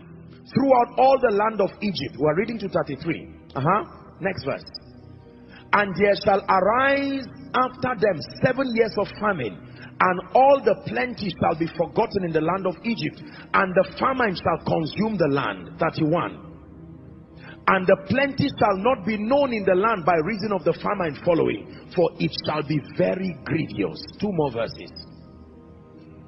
And for that the dream was doubled unto pharaoh twice it is because the thing is established by god and god will shortly bring it to pass the last verse and then we jump to 37 now therefore look at him bringing a solution now let Pharaoh look out for a man discreet and wise and set him over the land of Egypt. 37. And the thing was good in the eyes of Pharaoh and in the eyes of all his servants. Next verse. And Pharaoh said unto his servants, Can we find such a one as this is? A man in whom the Spirit of God is. Next verse. And Pharaoh said unto Joseph, For as much as God has shown thee all this, there is none so discreet and wise as thou. May that be your testimony. In the name of Jesus Christ. That we will search and search and honestly come to the conclusion that you are truly exceptional. That we will say your kind is rare. In the name of Jesus Christ. Next verse please. And Pharaoh, okay, thou shalt be over my house and according unto my word shall all my people be ruled. Look at instant honor that came because of competence and excellence. It says, only in the throne will I be greater than thou. Next verse. We're reading to 46. And Pharaoh said unto Joseph, See, I have set thee over all the land of Egypt. And Pharaoh took off his ring from his hand and put it upon Joseph's hand and arrayed him in vestures of fine linen and put a gold chain about his neck and he made him to ride in the second chariot which he had. And they cried before him bowed the knee and made him ruler over all the land of Egypt. Three more verses. And Pharaoh said to Joseph I am Pharaoh and without thee shall no man lift up his hand or foot in all the land of Egypt. Look at this. And Pharaoh called Joseph's name Zaphnath Paaneah and he gave him to wife Asenath, the daughter of Potipherah, the priest of On. And Joseph went out over all the land of Egypt. Last verse. And Joseph was how old? Wow. And Joseph was 30 years old when he stood before the king of Egypt. When they put the ring when Joseph began to do exploits at a national level, he was 30 years old. That means there is no excuse. And for those of you who are saying, ah, 30 years, okay, that's old. What of Joash, who was king at age 8? Josiah, king at age 9. They were all kings, as small as they were. A child is not just a child in age. A child is a child in knowledge. Are we together now? Yes. You must embrace a life of competence and excellence. Two more. Number six. Am I right on that? Number six. Be disciplined and focused. This is a big one. I can spend the entire night dealing with this issue of discipline and focus there is no glorious destiny for any man and any woman that will compromise on the power of discipline and focus. Isaiah chapter 50, please. Isaiah chapter 50 and verse 7. Let's hurry up, media. 50 and verse 7, Isaiah. For the Lord will help me, therefore I shall not be confounded. Therefore I have set my face like a flint, and I know that I shall not be ashamed. Second Timothy chapter 2 and verse 4. Second Timothy chapter 2 and verse 4. Is there no man that warreth entangleth himself with the affairs of this life that he may please him who has chosen him to be a soldier. He's giving an impression that if you make up your mind that you are a soldier, then you have to adopt the, the discipline of a military man. Hebrews chapter 12 and verse 1. Hebrews 12 and verse 1. Wherefore, seeing also that we are compassed with so great a cloud of witnesses, let us lay aside. Say, lay aside every weight and the sin that doth easily beset us, and to run with patience the race that is set before us. There are two things he says to lay aside sin and weight. You can lay aside sin and not lay aside weight. Weight is anything that is unnecessary as far as the journey is concerned. There are many good things in your life you must be able to cut away from.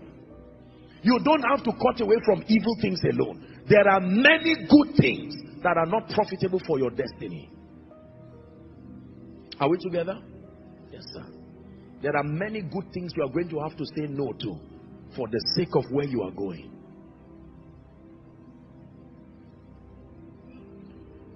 Many good things that you will have to say no to. Number seven, and that will lead me into a very important subtopic, and then we'll pray. Are you ready? The seventh point if you want to actualize destiny, you must develop endurance. You must develop endurance. I will define for you what endurance is. You must develop endurance. Are you ready? I define endurance as the ability to stand and survive pain and pressure while maintaining focus. Endurance, the ability to stand and survive pain and pressure while maintaining focus endurance, the ability to stand and survive pain and pressure while maintaining focus. This one key here, dear people of God, if you have six over seven and this is the key you failed, you will still abort destiny. Strangely. Endurance. James chapter 1. James chapter 1 from verse 2 and 3. James chapter 1 from verse 2 and 3. My brethren, he says, Count it all joy when you fall into diverse temptations, knowing this, verse 3, that the trying of your faith worketh patience. In fact, let's read verse 4. It says, But let patience have her perfect work, that ye may be perfect and entire, wanting nothing. Everybody say endurance. There are two reasons I have seen why people generally, in spite of the fact that they work in keeping with these other keys, while they are unable to really maximize destiny and become all that God has ordained them to be. Number one is excuses. They will always give excuses. And you see, to one who is determined to find a reason not to rise, you will always find one. Excuses. And then number two, the second reason is violating the law of process. I want to end my teaching tonight by teaching us something about the law of process. Please open up your heart and open your spirit because for some of you this will be an answer right now to your prayer. Are you ready to pray one more time? Lord open my eyes yet again. Open my eyes for the sake of my destiny for the sake of all those who are looking up to me. Make sure you are praying. Those following online azaria family and those connecting across the globe make sure your heart is open. Pray. Let it be from the depth of your heart. Open my eyes Hallelujah. Write this down as a subtopic the law of process.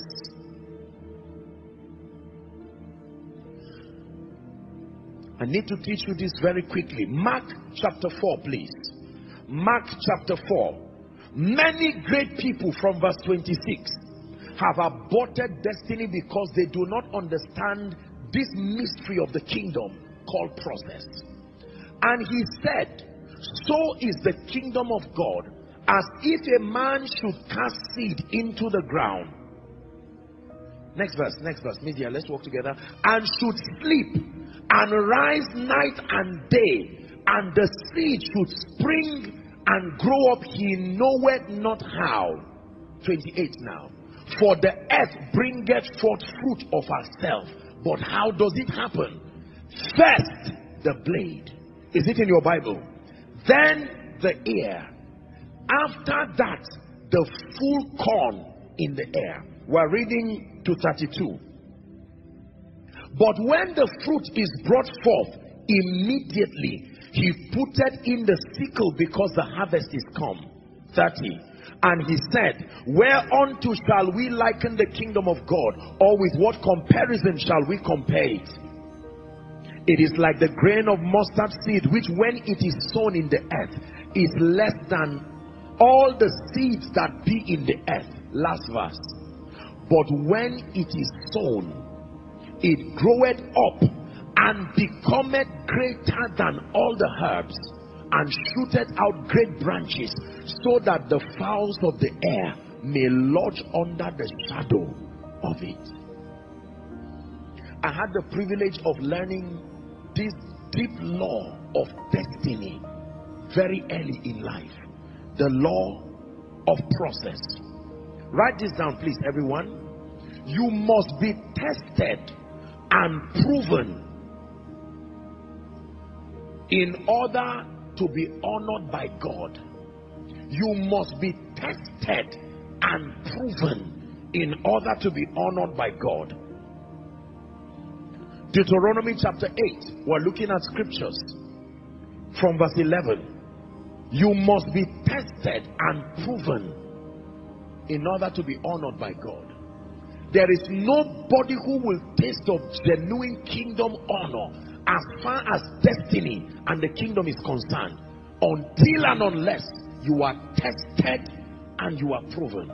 We'll begin our reading from verse 11. Beware that thou forget not the Lord thy God in not keeping his commandments and his judgments and his statutes which I command you this day. Lest when thou hast eaten and art full and art built goodly houses and dwelt therein, and when thy herds and flocks multiply, and thy silver and thy gold is multiplied, and all that thou hast is multiplied, 14, then thy heart shall be lifted up. This is why God needs to test and prove people. It's a tendency in the heart of all men without exception. And forget the Lord thy God, which brought thee forth out of the land of Egypt from the house of bondage. 15 who led thee through that great and terrible wilderness, wherein were fiery serpents, scorpions, drought, where there was no water, who brought thee forth water out of the rock of flint. 16. It says, Who fed thee? Let's read 16 together. Ready? One to read. Who fed thee in the wilderness with manna, which thy fathers knew not. Why? That he might humble thee and that he might prove thee to what end? To do thee good at thy latter end. Let me tell you sincerely, God tests people. God proves people. Even men prove people before they lift them. There is no responsible man, there is no responsible leader, there is no responsible father who will not test and prove people to ascertain their capacity and their capabilities before lifting them and even their tendencies you must be tested and Psalm 66 verse 12 Psalm 66 and verse 12 Thou hast caused men to ride over our heads. Hmm. We went through fire and through water, but thou broughtest us into a wealthy place. But before we got there, you caused men to ride over our heads. We went through fire and we went through water. Which one is better, fire or water?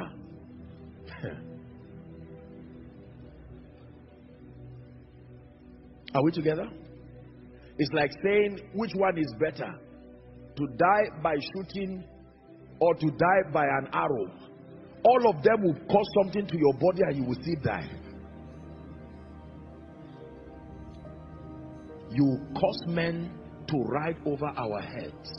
We went through water and through fire, but the same you brought us into a wealthy place. Process is very powerful there will always be seasons in a man's life where God will be proving you to prune every tendency that can destroy and abort your glorious future. And let me tell you the truth, that is about the hardest phase in the life of a believer. Because at those points, I taught you this already, that is when you experience what we call the silence of God. You will live in the silence of God once and again. And if you do not understand that you are being proven, you will waste that season. And you will find out that the destiny that was prophesied over you would never even come to pass. Number two, the second thing you have to know about process is that it takes time for true success and your destiny to manifest. No matter how you hurry destiny, it takes time for true success and it takes time for destiny to manifest. Hebrews chapter 6 and verse 15. I want us to read it in concert when we see it displayed. Everyone ready? Please look up. One to read. And so, after he had patiently endured, he obtained the promise. The he being Abraham. And so, after he had patiently endured, he obtained the promise. What does process do in your life? I want to give you about four or so reasons and then we'll end it and pray for tonight. About four or five reasons. Are you ready? Number one, why do I have to go through process with God? Number one, process tests your loyalty and your commitment to fulfilling your destiny. Process will test your loyalty and your commitment, not just to God, your loyalty and your commitment to fulfilling your destiny. Are you that determined to make it? Process will test and even prune your loyalty and your commitment to fulfilling your destiny. Luke chapter 9, please, and verse 62. Luke 9 62. And Jesus said unto him, No man having put his hand to the plow and looking back is fit for the kingdom of God. Process. No matter what it takes, that in the name of Jesus Christ, I have set my face on the, like a flint and I will push through. It may be gradual, but I must become that kingdom financier. It may be gradual, but I must become that man of God. Number two, what does process achieve in your life? Process builds patience. Process builds patience. James chapter 1, 2 and 3. We read that already. Please just write it down for sake of time. There are many people who it takes the discipline of process to bring them to a point where they can become patient in life. We live in a generation of impatience. Fast everything. We want it immediately. Sharp, sharp. And while it is true that God is a God of speed, there is a difference between speed and rush. God gives people speed after he has made them and built them. But God does not rush people. Are we together? Isaiah chapter 43 and verse 1 and 2, very popular scripture. It says, Fear not, I have redeemed you. I have called you by name. Thou art mine. Verse 2, I love verse 2 so much. It says, When thou passest through water, I will be with you. When thou passest through the river, it shall not overflow you. But when it gets to fire, it didn't say where you pass, where you run, it said where you walk. Why do I need to walk through fire? Abba God, it's enough that I'm there. I thought I would rush out. Because that fire has an assignment to roast many things away out of your life. There are things water cannot remove. there are things even the strength of the river cannot remove. It will take fire. And let me tell you, when you are walking through that fire, not even your tears will accelerate the pace. You will walk slowly. It will burn pride it will burn every kind of thing. You will get to a point where when you get out of that fire, you will be as light as a feather, ready to fly. Some of you, you are in that fire right now. It is not always a demonic attack. The anointing of the Holy Spirit was designed to fight Satan, not God. So sometimes when you are praying and asking the anointing to fight and it's not fighting certain things, it may be because it is not Satan. The anointing does not fight God. Process. Process. You walk through fire. Three members, six months, two years, three members. You are angry, you are offended, you are saying, even the people I raised, now they have mega churches, and God says, Stay. I know what I'm doing. When you walk through fire,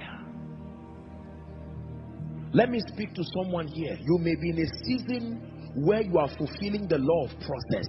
Don't abort destiny. Obtain the grace to stay. There is something that fire is doing. And when it is done, there is nobody who is a normal human being who will carry raw meat. Even if you go to the bush and you kill meat, Nobody will come to a restaurant just to sit down and start eating raw meat. You just share a raw cow and people are just eating. No. It will pass through fire.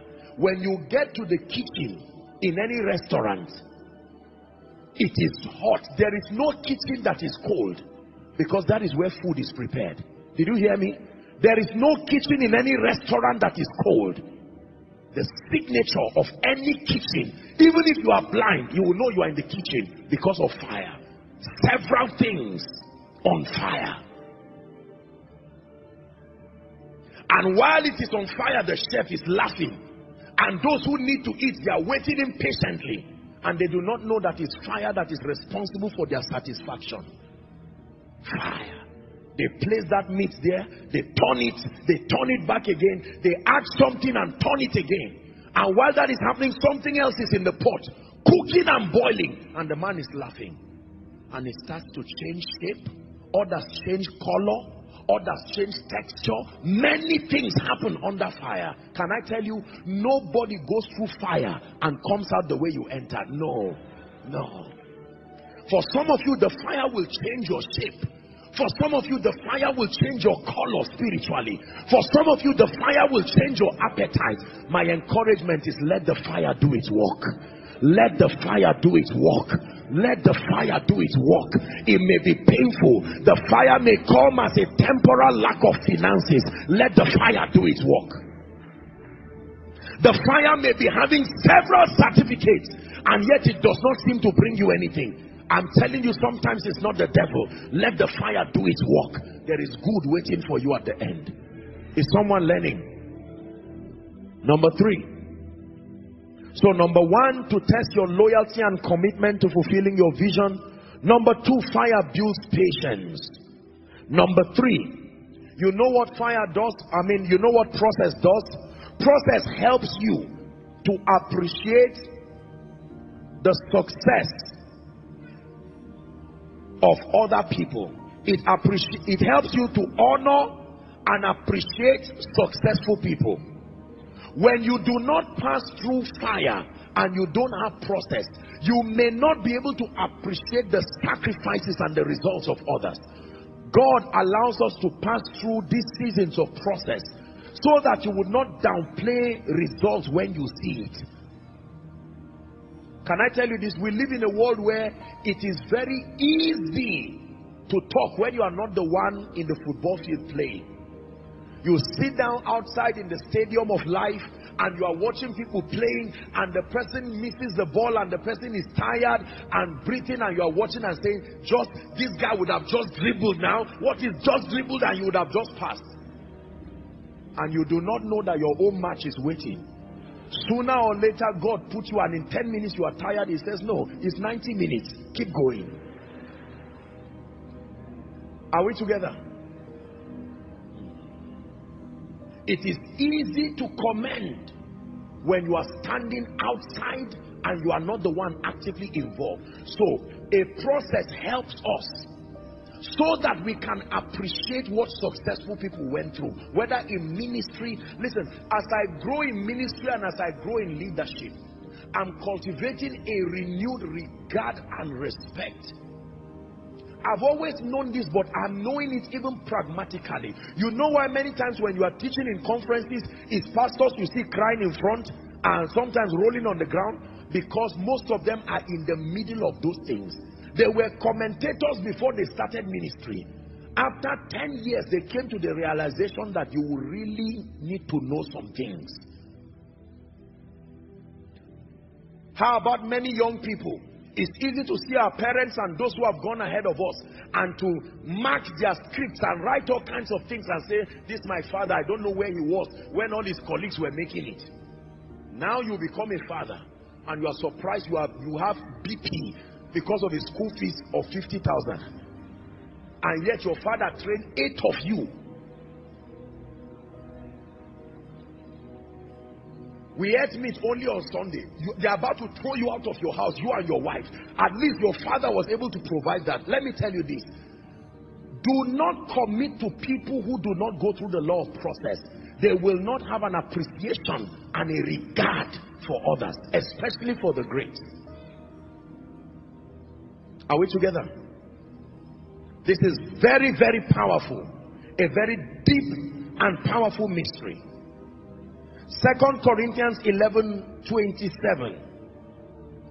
Second Corinthians 11 27. This is Paul. In fact, if we had time, we would have read the entire span. But he was saying something here. When you begin to read from verse 20 down to 29, thereabout, he said, In weariness, in painfulness, in watchings often, in hunger and thirst, in fasting, in cold and nakedness. He was saying, Don't you think I just became an apostle by luck? These were some of the things I went through. You see, when you see great people, because of the way the palace would decorate you and perfume you, you will not smell like the prison again. But make no mistake, it was from the prison you got there. Are we together now? Yes. Most people who criticize and most people who are involved in talking about people, it is because they do not have track record of greatness. Let me tell you the truth. When you go through the law of process, you will appreciate great people with profound respect. Wow. This man had to go through this to become a pilot. This man had to go through this to become a chartered accountant. This man had to go through this. There are people who will not be able to pastor 100 members effectively. The trouble of 100 members will depress them till they almost plunge into depression. And yet you see a man leading a ministry of thousands of people and all these people, they are just lucky. No. Sometimes God helps critics by giving them opportunities. The way God helps critics is by giving them what you are criticizing. God will give you as a gift or your take. And then you will see it as a breakthrough and by yourself.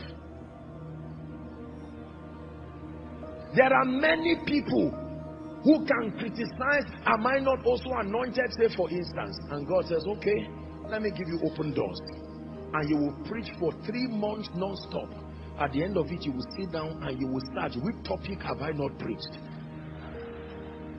leadership i said it the other day oh i i preached that day on abraham i preached about him and then you will now know the man who does three services or five services or preaches about eight sermons every day. And he has done it for three or four decades without fail. You now know that these people have something to say. Are we together? My uncle is such a greedy man. Doesn't give anybody money. No problem God helps you by giving you your first five million. And as soon as that five million comes, somebody will say, please, we need a surgery. It's just three million we need. Otherwise, somebody will die. And I saw you in a vision. And God said I should come and seek help. That's when you will know that. So it's not easy like that. In the vision, I saw someone giving you five million. Is that true, sir? You don't know whether you should lie or tell the truth. Now you know what it feels when you tell people, just give me money anytime and they keep giving you. Let me tell you the truth. Until you are there, just keep quiet. Let me repeat myself. Until you are there, wearing the shoes, just keep quiet. Is God speaking to us?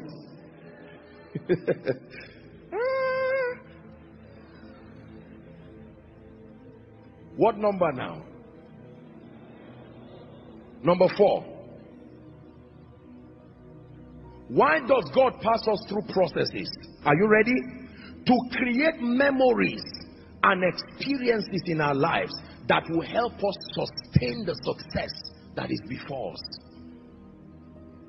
To create memories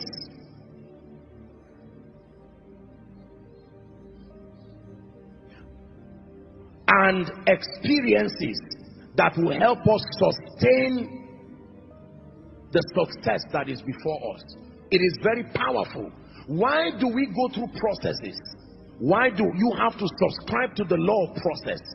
Because there is something that you go through in those seasons of pain that will help you to be able to manage greatness. Can I tell you, ask anybody who has tasted of genuine greatness, there is a skill it takes.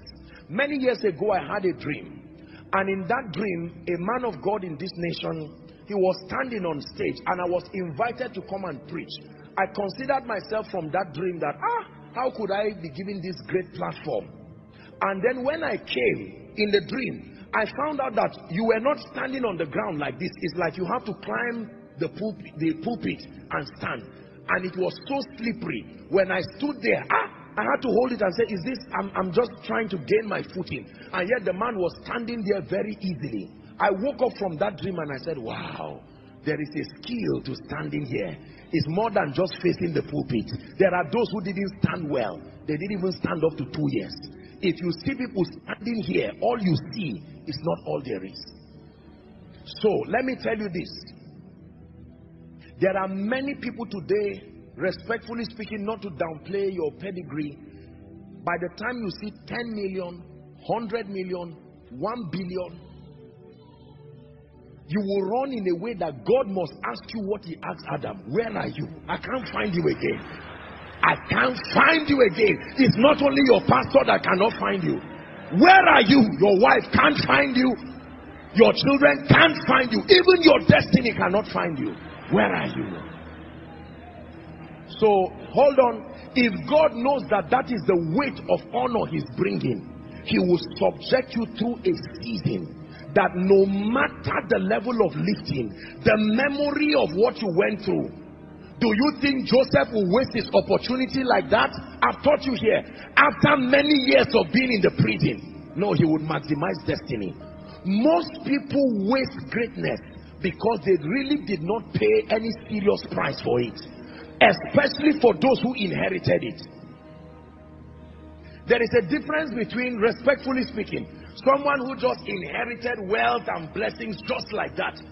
And somebody who started from minus one before you got to zero, before you now started climbing. They are disciplined, a lot more discipline. Mismanagement many times is because we do not have a history and a track record of process. Are we together? Yes. When pride wants to take over your life, the Holy Spirit can easily pick one story from your life and remind you, remember where I brought you from. And quickly you call yourself to order. Woe betides a great man who does not have a history of experiences where the Holy Spirit can pull from to put your life in order. You will not go far. Are we together? Hmm. Finally, the final reason why we go through process is so that through the pain and through the process we can gain experience to be able to raise others. Why does God introduce process to our lives? So that through the pain and through the process that we go through we will gain experience that will empower us to raise others Second Corinthians 11.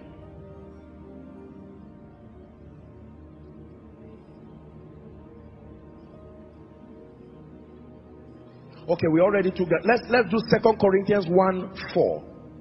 Second Corinthians 1 4. Look at me, please. It says, Who comforted us in all our tribulation? Is that in your Bible? That we may be able to comfort them which are in any trouble by the comfort wherein we ourselves are comforted of God. When you go through a process, the day you see somebody going through it, you can draw from your experience and say, I have been there. Man of God, don't worry. Apostle, I give so much to my members. I love them with all my heart and they don't appreciate me. And then the man can say, let me tell you a story. In 1961 or 1971, I remember having preached, they beat me and drove me out of one village. And you are listening and learning and you are drawing strength from it. Can I tell you, you are not a true mentor if you don't have stories. What becomes the basis of your teaching? It is not only principles. They say the secret of great men is hidden in their stories. So God is giving you stories today Sometimes I share the bits of my experiences that I share and I almost relieve them as I'm sharing them and nodding my head and saying how time flies. Who would have known that those seasons were only preparing me for these days? And who, who knows the days now, all the seasons that I'm in now, only God knows what is preparing me for. Can I tell you the truth?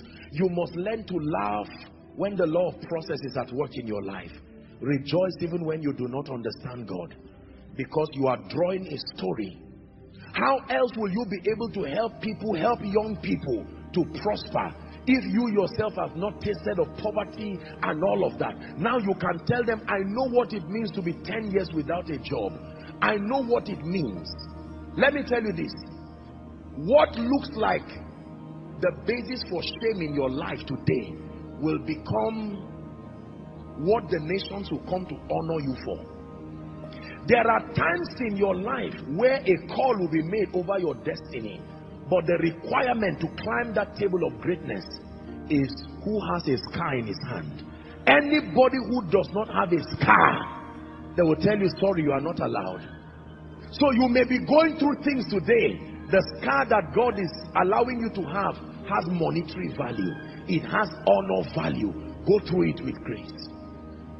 As a man of God, tomorrow, if you are able to teach people and God honors you and gives you a global ministry, when a young man comes and says, Sir, I'm, I'm in debt, I'm not able to do ministry well, you smile because it's not only memory verses you have, you have memories. You can draw from it and say, I know what to tell you. Believe me, I know what to tell you. And then you begin to give the person stories Today people come and they meet me and they say, ah, apostle, I am owing. Um, my life, I tell them, relax, please. Have you eaten? No, you don't know that. Have you eaten? This man talking to you as, as I know what it means to be under financial pressure so that we can comfort others with the same comfort. Do not waste your pain. There is a crown that your pain today will put on your head. My question for you as we wrap up tonight's teaching is can God count on you? Are you going to join the many who have disappointed God and disappointed destiny? Or are you going to make up your mind? Whatever you want to do, Lord, you can do through me. Whatever you want to say, Lord, you can say through me, whoever you want to lift, Lord, you can lift through wherever you want to go, Lord, you can go. I'm yours. I'm yours forevermore.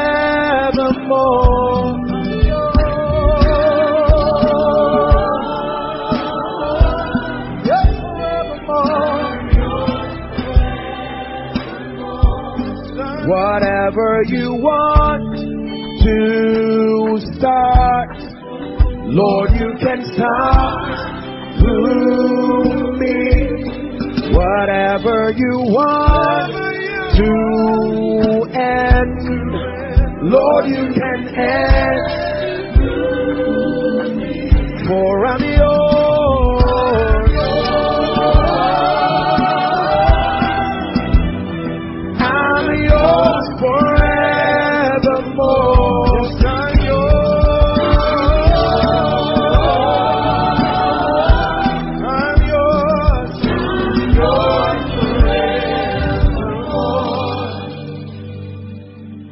Vow and I made a covenant with my destiny that I will not fail God and I will not fail my generation.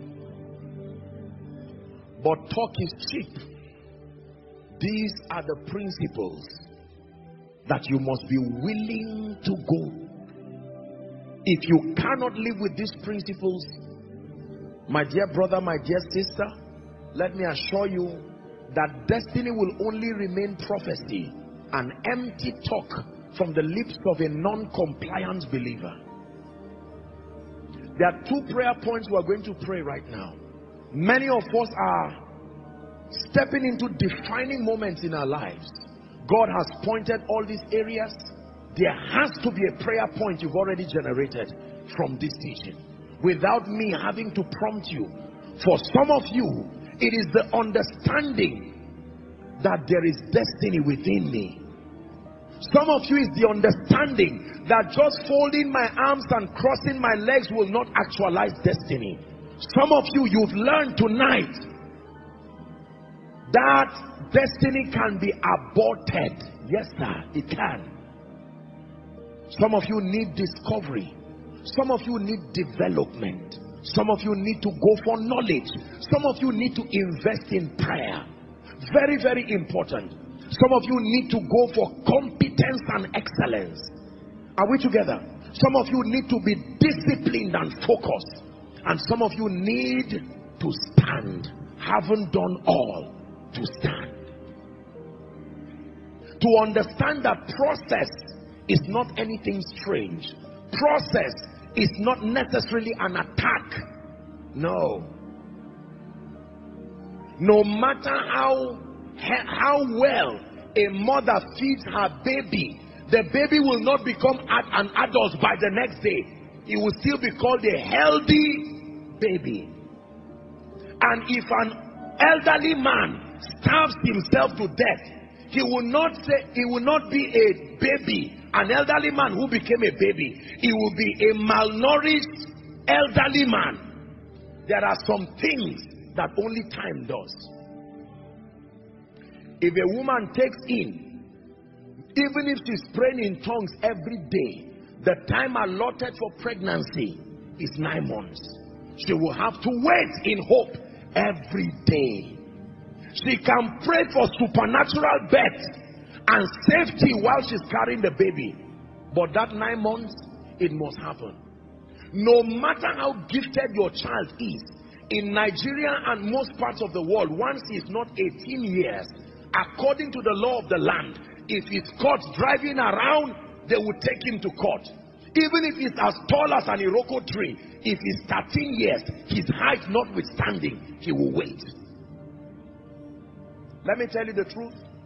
There are some things that will only happen with time and in time. Man of God, no matter how you pray and fast, take it easy. The anointing will come gradually. Don't expect to get Benny Hinn's anointing overnight. Don't expect the grace and the impact and the result that is upon our fathers to land on you. But they laid hands on me. I can tell you what came on you. The whole thing came on you, but the administration of it is part-time and by your knowledge. God isn't foolish. God will not carry the load that a camel carries and put it on a tortoise or put it on a dog. It will kill you. He says to not cast a spell before swine. So for some of you, be careful what you are praying for. Transfer that prayer into your future and be grateful for what God is doing now. Lord, I'm praying if, if I do not make 10 billion or 50 billion by the end of 2022, except God is not faithful. Let me help you. You are not wrong. You are not a sinner. It's just the wisdom you need. Because the way God works, he does not jump you from being a broke person to have 50 billion. You cannot have 50 billion without being friends with government and certain people.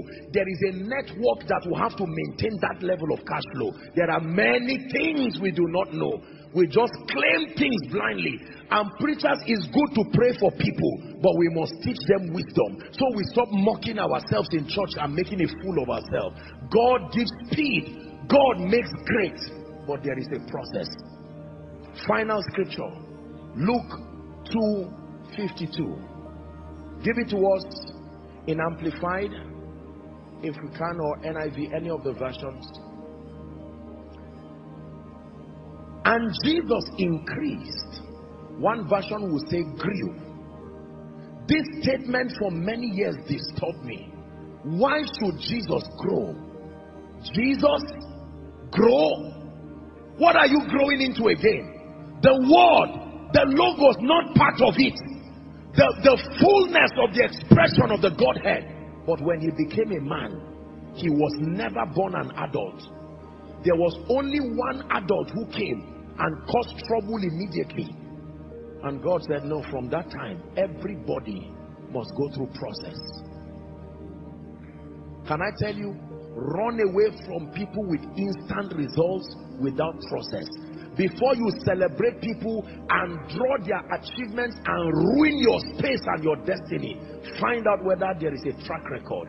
If you don't find blood there, if you don't find tears there, if you don't find faith there, if there is no equation in their life where they have to trust God and agree with God, you are sitting on a time bomb.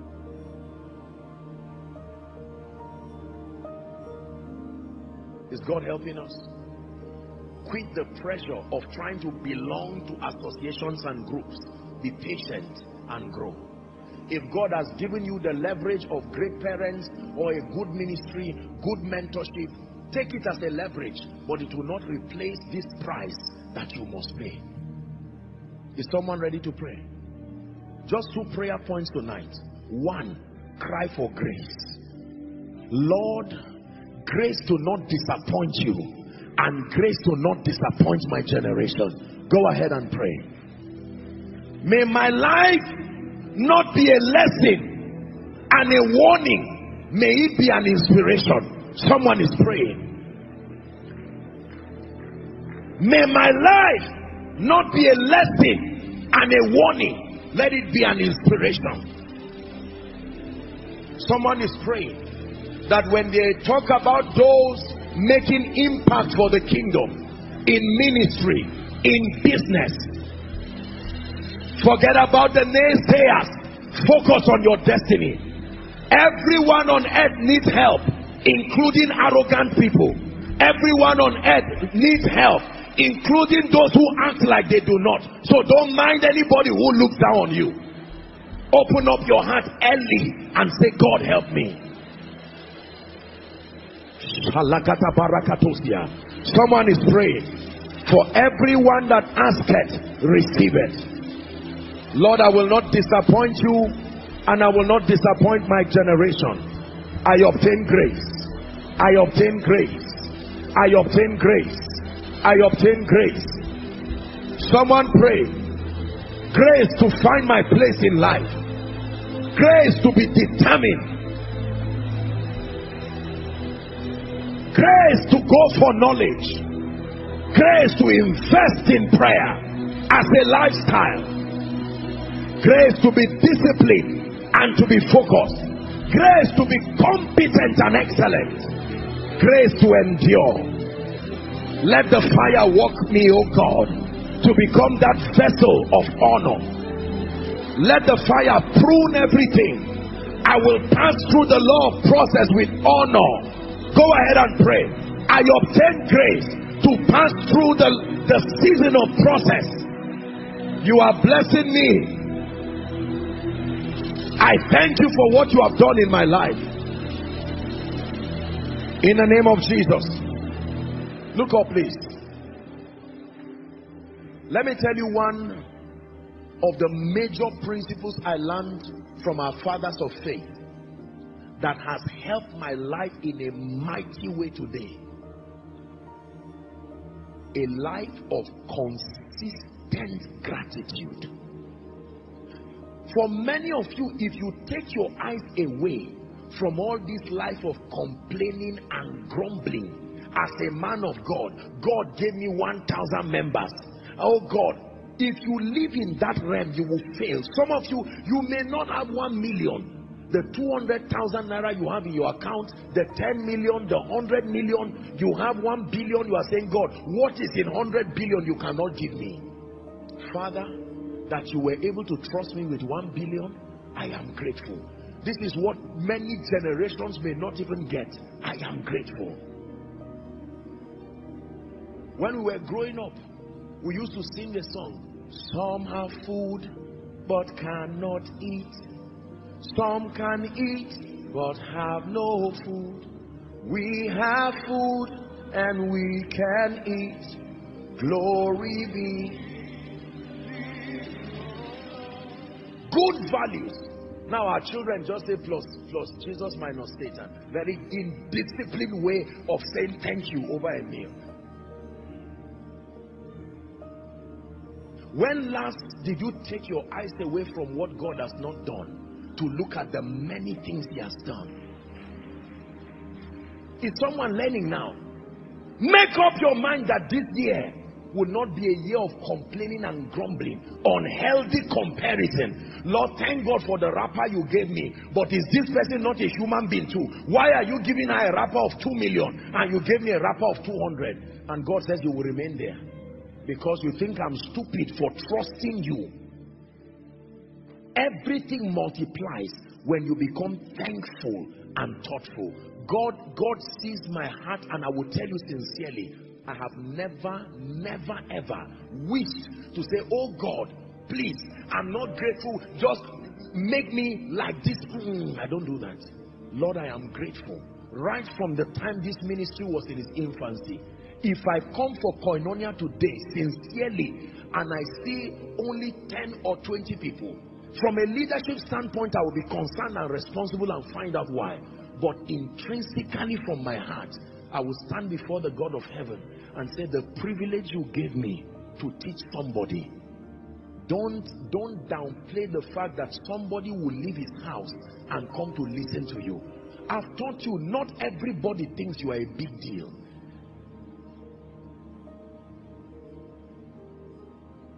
A man of God called me one time some years ago and said he went somewhere and the honorarium they gave him was so insulting. I just kept quiet.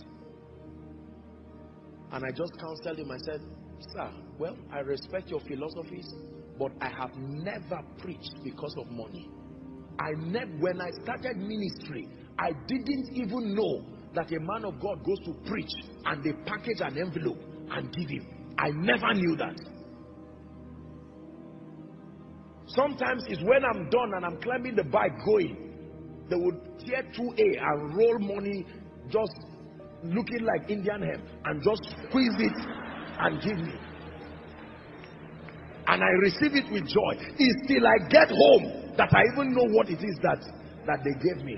But right now we have many people, you preach, you go to a ministry where you see that the gen is offering and on you know they are struggling and you are I'm not I'm not here to cause any trouble in the body of Christ. We must be careful. If you don't know how to kneel down and say thank you, thank you. God, you gave me tea. I'm tired. Where is bread? God said, because you even have the mouth to drink the tea. They murmured in the wilderness. Is it in your Bible? It says, do everything without complaining or argument. In the next one minute, I know that our time is up, but I want you, I don't know how you will say it, but I want you to look at this God who has been merciful from January till now June it's part of the journey to your, I don't know how you are going to do it. You don't have to kneel or stand or whatever, but let it be from your heart. Tell him thank you. Thank you. Father, I've not gotten the job yet, but I didn't lack food this year. I ate healthier and happier than even people who had jobs. Someone say thank you. I roamed around people with communicable diseases. And Lord, you have kept me and protected me. The same thing someone did and died. I did the same thing and I'm still standing. I'd like you to pray.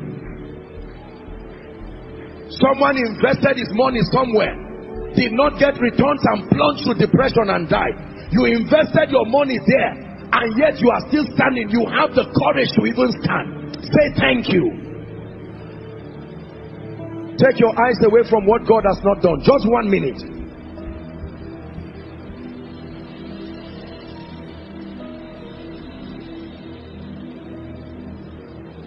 Is someone praying?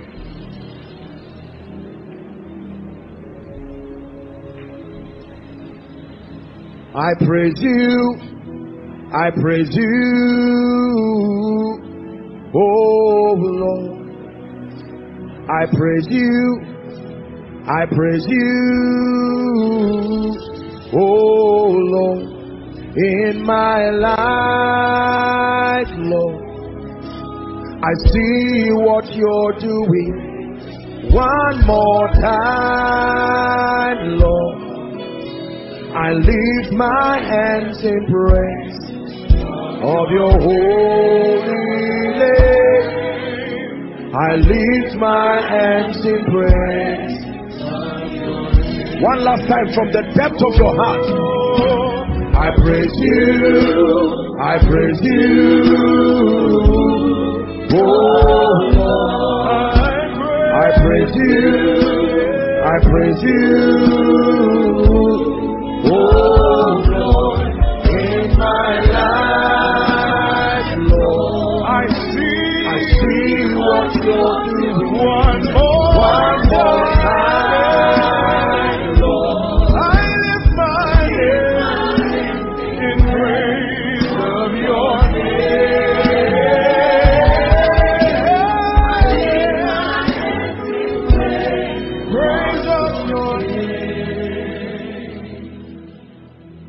Jesus, thank you for your hand in this ministry.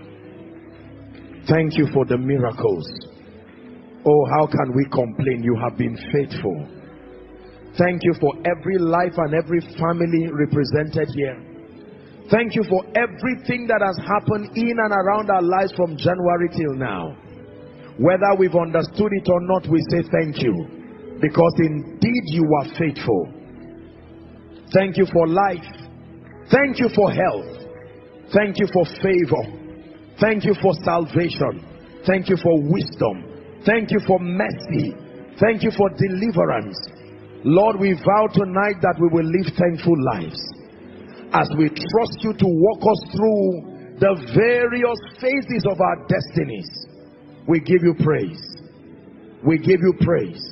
We give you praise. Lord, we declare as a people and as individuals that we will not abort destiny. In the name of Jesus Christ, that which has been earmarked for us as far as destiny is concerned and as far as your kingdom come agenda is concerned, Lord, we will live it to its fullest. I pray for everyone tonight, oh God, following from Zaria here in Abuja and across the nations of the earth. In the name of Jesus, the grace to fulfill your destiny, receive it right now. In the name of Jesus Christ. And for some of you who have veered off the path of destiny, the Lord God of heaven is showing you mercy tonight. In the mighty name of Jesus Christ. Amen and amen. There are people here tonight who haven't heard the things. Please keep standing. Let's just stand for a minute or two and let's minimize movement, please. There are people here, whilst you heard me teach and preach, the Holy Ghost began to speak to you that this service was for you. He's brought you here tonight to give you an opportunity to start afresh for some of you. And then for some of you, you've never even made that decision for Jesus. Listen, coming to Jesus is not a religious thing. This is not just about a man of God making an altar call and you responding to it. It is the Lord Jesus himself calling you to give you an experience. You can choose to reject Jesus. It is still within your power. Remember I told you that our destinies are predetermined by God but actualized through the decisions and the choices. Every one of us here who is saved had to make this decision consciously. And tonight God is giving you a chance. We have just a few minutes, a minute or two for you. You are here and you are saying, Apostle, I truly, sincerely want to make it right with Jesus. Or you are saying, Apostle, I remember giving my heart to the Lord, but honestly, as it is now, would you give me the chance to make it right with Him? There is always room at the cross for you. I will count one to five because of our time, and may I request that you quickly run if you can walk fast if you can and make your way to the front here and for those of you who are scattered across the overflows you may do well to walk to the front of your screens following from the nations of the earth whether in your room your office following by way of television now is your chance to make Jesus Lord of your life. The Bible says as many who will come to him he will not cast away. Come one. Are we celebrating them koinonia? Leave your seat and come to Jesus. Don't be ashamed don't be afraid. Apostle I desire to come but I'm ashamed I'm afraid. Come come to Jesus. He's willing to give you a new beginning. Young old from far and near male female there is enough room at the cross. Come to Jesus. Three I count five and then we begin to pray. Perhaps someone is still thinking apostle I do not consider myself to be a bad person only that I cannot remember making this decision. Join them. Join them. There is such a thing as the assurance of salvation. After everything I've done with my life can God still take me back? Absolutely you are welcome. Hallelujah. Praise the name of the Lord. I appreciate every one of you. Please come stand very quickly. And the Bible says as many who will come to him he will in no wise cast away. Listen as you're standing here I want you to truly believe that you're standing before Jesus the son of the living God and that he's able to give you a new beginning. Praise the name of the Lord. I'm going to lead you to pray this prayer and may I request that you pray it from the depth of your heart it's more than a poem you're reciting this is a declaration of your dependence and your need for Jesus. Please lift your right hand high above your head if you can. And if you are following from across the world, you can do same. Say after me, everyone. Say, Lord Jesus, tonight I have heard your word. I believe that you died for me. I believe that you rose again for my justification. Right now I receive forgiveness of sin and I declare that you are my savior you are my Lord and you are my King. I receive eternal life into my spirit and I declare that the power of sin Satan hell and the grave is broken over my life from tonight and forever I am a child of God. Amen. Keep your hands lifted. Father, thank you for these ones. No man is able to draw them except you draw them by your spirit. They have come and they have made this declaration of faith. Therefore, by the authority of scripture, I declare your sins forgiven. And in the name of Jesus, I call you recipients of eternal life. In the name of Jesus Christ, the power of sin, Satan, hell, and the grave is broken over your life. I commend you to the ministry of the word and the ministry of the Holy Spirit. May you be grounded and established in righteousness. You go forward ever and backward never. He gives you a new beginning from tonight. In Jesus' name I pray. Amen and amen. And God bless you. Now, please may I request their counselors waving the placard and waving their hands at you.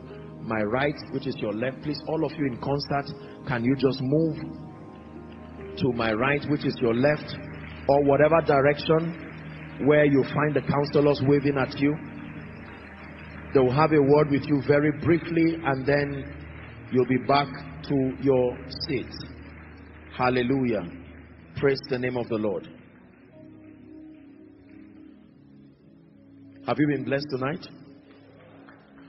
Let me speak over your life and then we'll wrap up for tonight.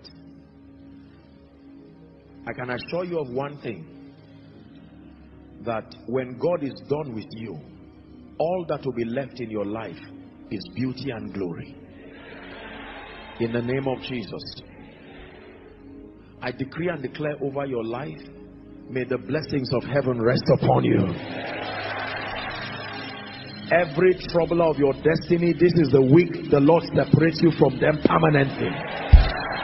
In the name of Jesus, the wisdom you need to live an excelling life and to maximize destiny let it be released upon you fresh fire upon your prayer altar fresh fire upon your word study life.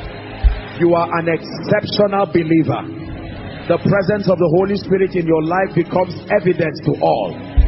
Let favor rest upon your life and it is speaking over your life. The grace to go through the seasons and the phases of your destiny, I release upon you. In the name of Jesus Christ, I declare that you are blessed today and you are blessed all through this month. In the mighty name of Jesus Christ. Amen and amen. Again, the one who died for us is not only a savior, he is king. The monarch, not only of this universe, the monarch. He sits alone without any threat whatsoever there are kings that need people to watch their back just in case there is conspiracy. Lucifer tried it and there was war in heaven. And the Bible says, Michael the archangel, that he judged him and there was no place found for him. Satan, that old serpent, he sits over the circumference of time and manipulates everything according to his will. The Bible says, Hebrews chapter 11 and verse 6, it says, For without faith it is impossible to please him. The protocol is that he that cometh unto God, you must come believing that he exists. You are not, you are not coming before a politician. You are not coming before a consular of a a, an embassy to give you a visa. You are coming before not only your savior, but the monarch of the universe. When he says done, believe me, it is done. Kings are not talkatives. It is, a, it is a system to validate their authority. When you find a king that is a talkative, it means there is a threat to his understanding of power when they speak, it is by the decree of the king. And the Bible says, where the word of the king is, there is power. I believe in the name of Jesus that in this service tonight, the king will speak over someone's life, speak over someone's destiny. It was the king that gave the rivers their borders and said, Thus far have you come do not cross this boundary and for thousands of years millions they have kept in obedience regardless the rebellion of satan. When the earth was immersed in water it was at the decree of the king that the rivers returned back to their place of habitation and gave room for land. This king that we serve is a mighty king. He is God, but he is king. Our confidence is based on the fact that he stands behind us like a mighty, terrible one. Are we blessed? I have come to you tonight, O King of Zion. Give me an encounter. Go ahead and pray. Go ahead and pray. The King of Kings, the Lord of Lords, the one whose kingdom there is no end. We worship. Speak to our hearts tonight. Grant us superior wisdom by the power of the Holy Spirit. In the name of Jesus Christ. God bless you. Please be seated. They go from strength to strength as many as appear before the Lord in Zion. When we come week in, week out, we come to encounter strength. We come to encounter the wisdom of the Spirit. Hallelujah. I welcome everyone. This is Koinonia. Thank you so much for the sacrifice of your time, especially for those who have come from far and near. I, I think I promised last week, I hope I'm right on that, that we're going to recognize and honor our international guests. Did we do that already? I think we did that. Did we do that last week? Anyway, all of our international guests, may God bless you. We thank you for the sacrifice of coming from across the globe. The Lord bless you. We have people coming in literally every week and we recognize and honor your sacrifices. One thing for sure is you will not come here and go back the same. In the name of Jesus Christ. Let me just honor a few people for sake of um, protocol. Um, we have our very own father, Bishop Obi Onubogu. God bless you. God bless you, Daddy. Thank you so much. Hallelujah. Who would know and believe that 84 years looks like this? Hallelujah. We covet that grace that day. Sorry for the embarrassment, but we covet that grace. 84 years, standing, strong, tall, serving the purposes of the kingdom. We honor you, sir. We honor you. Hallelujah. Praise the name of the Lord. We also have in our midst a dear, wonderful man of God, Reverend Chidi Okoroafor. Let's honor him. God bless you. God bless you, sir. Thank you so, so much. Sincerely appreciate you. Thank you. We have Reverend Yusuf Akila. Thank you so much. House on the Rock, just thank you. I have my dear friend and brother, Pastor Fred Zamani. God bless you. Thank you so much. I love you. Thank you. And our very own Pastor Peter Sadiq. God bless you. Hallelujah. Everyone who has come, we honor and we recognize you. The Lord bless you in the name of Jesus Christ. Commanding salvation over territories, part two. We're looking at a two part series that seeks to give us understanding on how to command salvation over territories. Last the week before last when we considered part one, the sub-theme was the witness of mighty works. I did teach us that results are evangelists. They also preach. That it is not just men that preach. Mighty works are also witnesses across a territory. And that personal results are a mighty tool as far as evangelism and the enthroning of Christ is concerned that when believers contend to see results in their lives, it is not just for the sake of gratifying the flesh and a sense of progress, that God is interested in your producing results because the evidence that comes from and through your life is able to preach to a territory. Hallelujah. That there is a dimension of the gospel that should not be preached by men, it should be preached by results.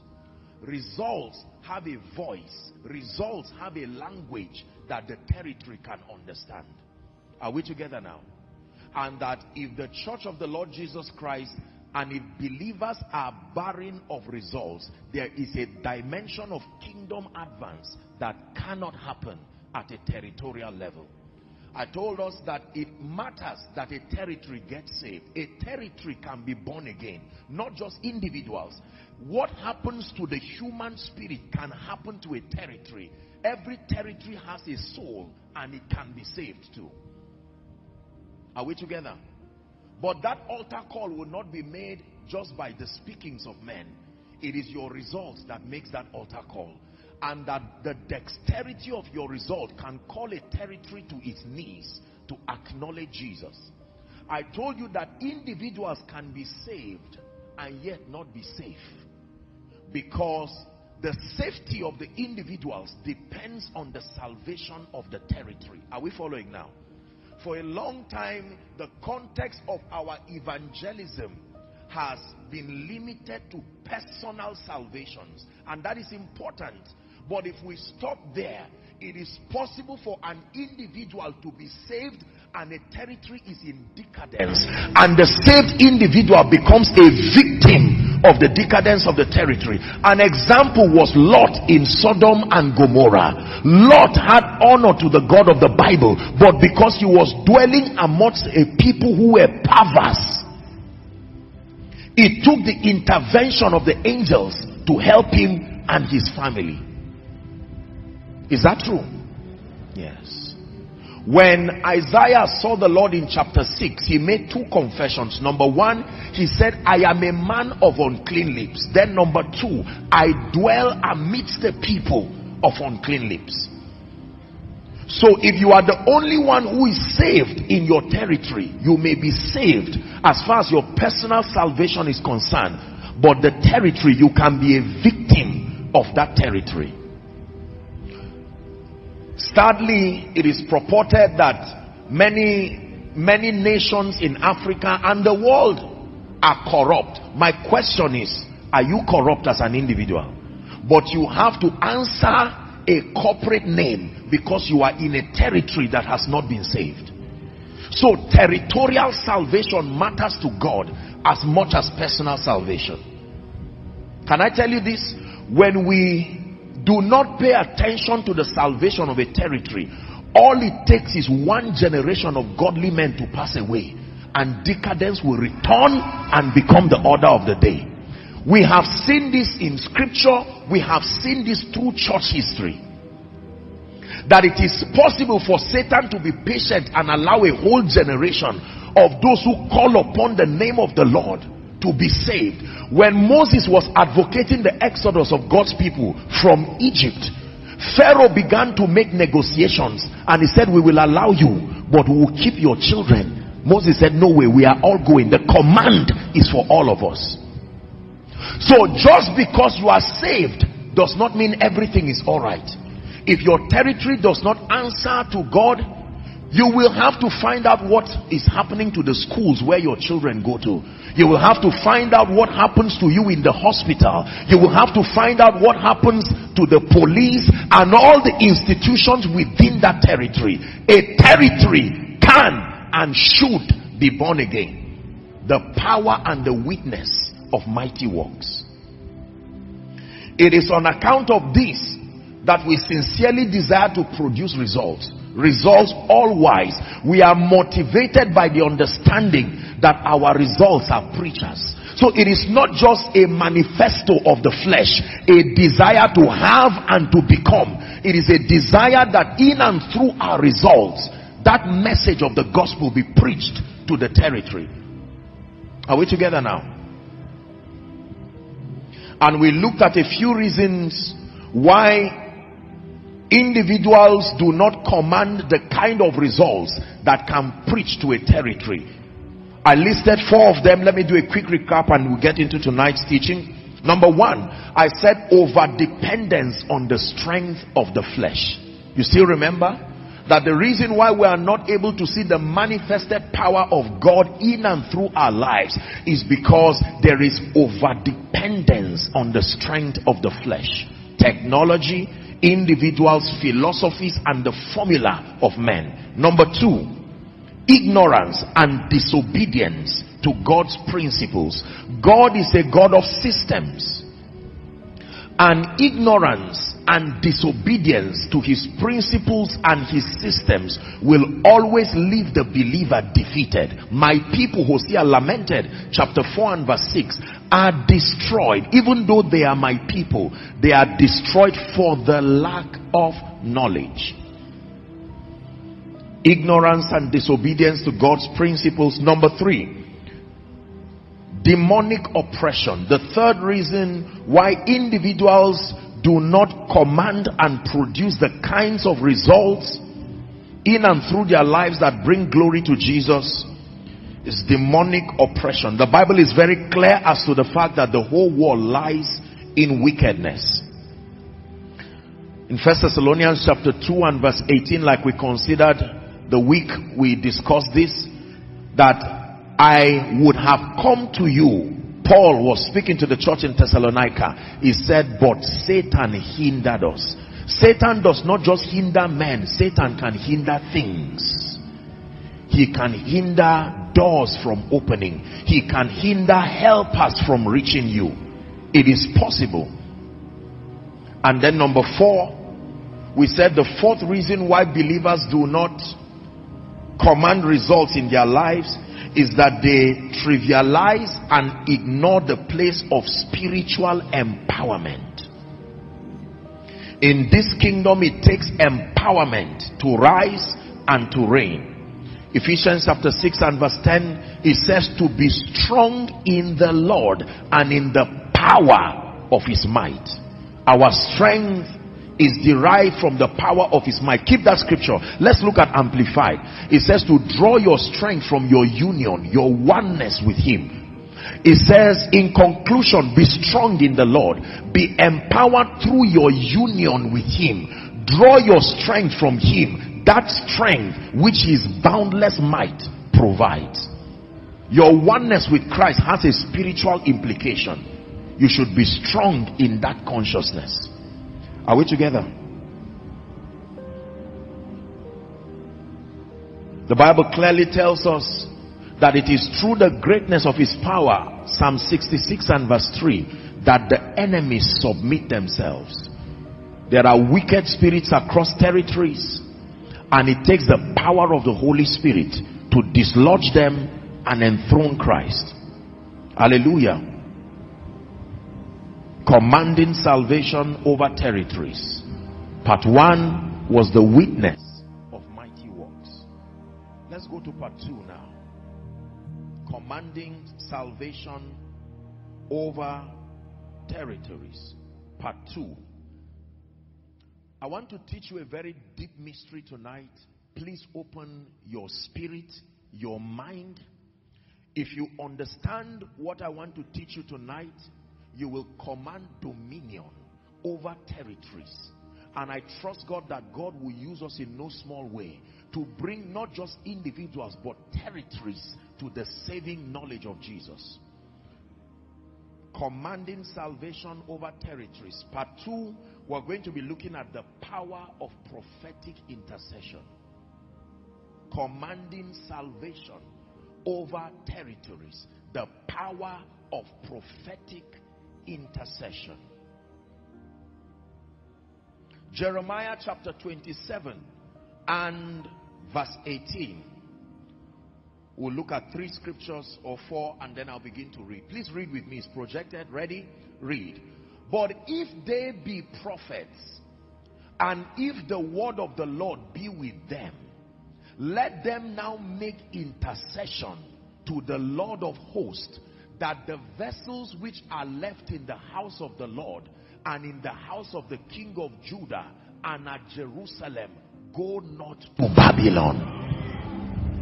If it is true that they are prophets, if it is true that the word of the Lord is with them, then they should make intercession to stop what is left from going to Babylon.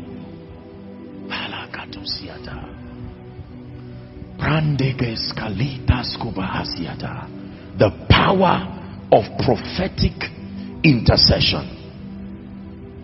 The Bible is very clear as to the fact that there is the ministry of the intercessor. That intercession is a ministry. And that all believers without reservation are called into that ministry. In as much as there are people who are uniquely graced to be intercessors. But that the ministry of intercession, like the work of the evangelist, who named the name of Christ. First Timothy chapter 2 from verse 1 to 4. First Timothy chapter 2 and verse 1 to 4. Please pay attention. I exhort therefore that first of all supplications, prayers, intercessions and giving of thanks be made for all men. Reading to verse 4. For kings and for all that are in authority, that we may lead a quiet and peaceable life. That means the quietness and the peace of that territory does not just depend on what happens in the government house does not just depend on what happens technologically that the saints have an assignment in maintaining peace over their territories.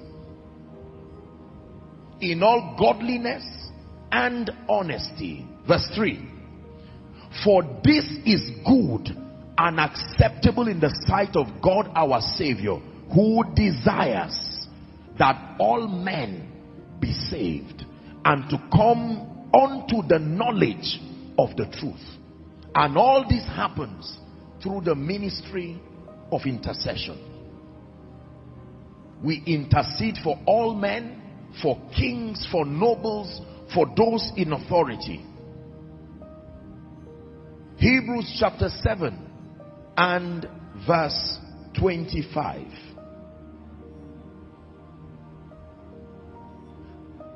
Listen to this and look at it very carefully. Wherefore, he is able to save them to the uttermost that come to God by him because of a mystery, seeing that he ever liveth to make intercession it is because he makes intercession that we know salvation can reach to the uttermost. He is able to save them to the uttermost that come unto God, seeing that there is a ministry that he engages in that does not fail, that he makes intercession for them. What is intercession? Intercession is not just mere prayer. What is intercession? The word intercede means to midwife. The word intercede means to become a bridge. Please pay attention. The word intercede means to stand in the gap. Are we together now? Yes. So intercession gives the idea of mediating over a person, over a people, so that the counsel of darkness, spiritually speaking now, does not prevail over their life. And so that the purposes of God find expression over their lives. To intercede means to stand in the gap in prayer over individuals, over families, over cities, over territories, over nations to the intent that number one, the purposes and the counsel of darkness be thwarted over those individuals. And number two, the purposes of Christ be enthroned. The assignment of intercession seeks to do two things. Number one, to prohibit the hand of Satan, the plot of darkness over individuals and then it seeks to release the purposes of God to find expression. You have to understand this. The intercessory ministry has to do with stopping the hand of darkness because I hope you know from scripture that the church being the light of the world is the principal limitation to the reign of darkness. Is that true? Yes. That the presence of the church is the reason why evil cannot prevail. Intercession, withholding the plot of darkness over individuals, over families, over nations, over territories, and allowing the cause of the kingdom to find expression. Many believers do not understand the place of prophetic intercession in birthing the purposes of God over the lives of individuals and territories. Are we blessed? Ezekiel chapter 22. Let's read from verse 23. Please pay attention to this scripture. Ezekiel 22 from verse 23. And the word of the Lord came unto me saying, Son of man, say unto her, Thou art a land that is not cleansed, nor rained upon in the day of indignation there is a conspiracy of her prophets in the midst thereof like a roaring lion ravening the prey They have devoured souls. They have taken the treasure and precious things. They have made her many they have made her many widows in the midst thereof. 26. Her priests have violated my law and have profaned my holy things. They have put no difference between holy and profane. Neither have they showed difference between the unclean and the clean. And have hid their eyes from my Sabbath. And I am profaned among them. Next verse. Her princes in the midst thereof are like wolves ravening the prey. This is a description of the state of a territory. To shed blood. Are you aware of the latest passion you see in our region over human sacrifices? Does that give you any concern? This is what the Bible is saying. To shed blood and to destroy souls to the intent that they get dishonest gain. 28. And her prophets have thou them an untempered mortar, seeing vanity and divining lies unto them, saying, Thus saith the Lord, when the Lord has not spoken. 29. The people of the land have used oppression and have exercised robbery and have vexed the poor and the needy. Yea, they have oppressed the stranger wrongfully. Next verse. And I sought for a man among them that should make up the hedge. That is the spiritual definition of intercession. And stand in the gap before me for what? The land. Not just for the people. That I should not destroy it. But I found the consequence. Next verse. Therefore, I have poured out mine indignation upon them I have consumed them with the fire of my wrath. Their own ways I have recompensed upon their heads, saith the Lord God. Can I tell you this? Tragedy awaits any territory. Tragedy awaits any family. Tragedy awaits any people group that ignores the ministry of prophetic intercession. I tell you why darkness seems to prevail over territories unhindered. Because there are Christians, there are prayer warriors, but there are very few intercessors. The selfishness of believers that has come as a result of immaturity and lack of spiritual growth has also translated to their prayer lives. Just because you are praying does not mean you are walking in spiritual accuracy. Are we blessed?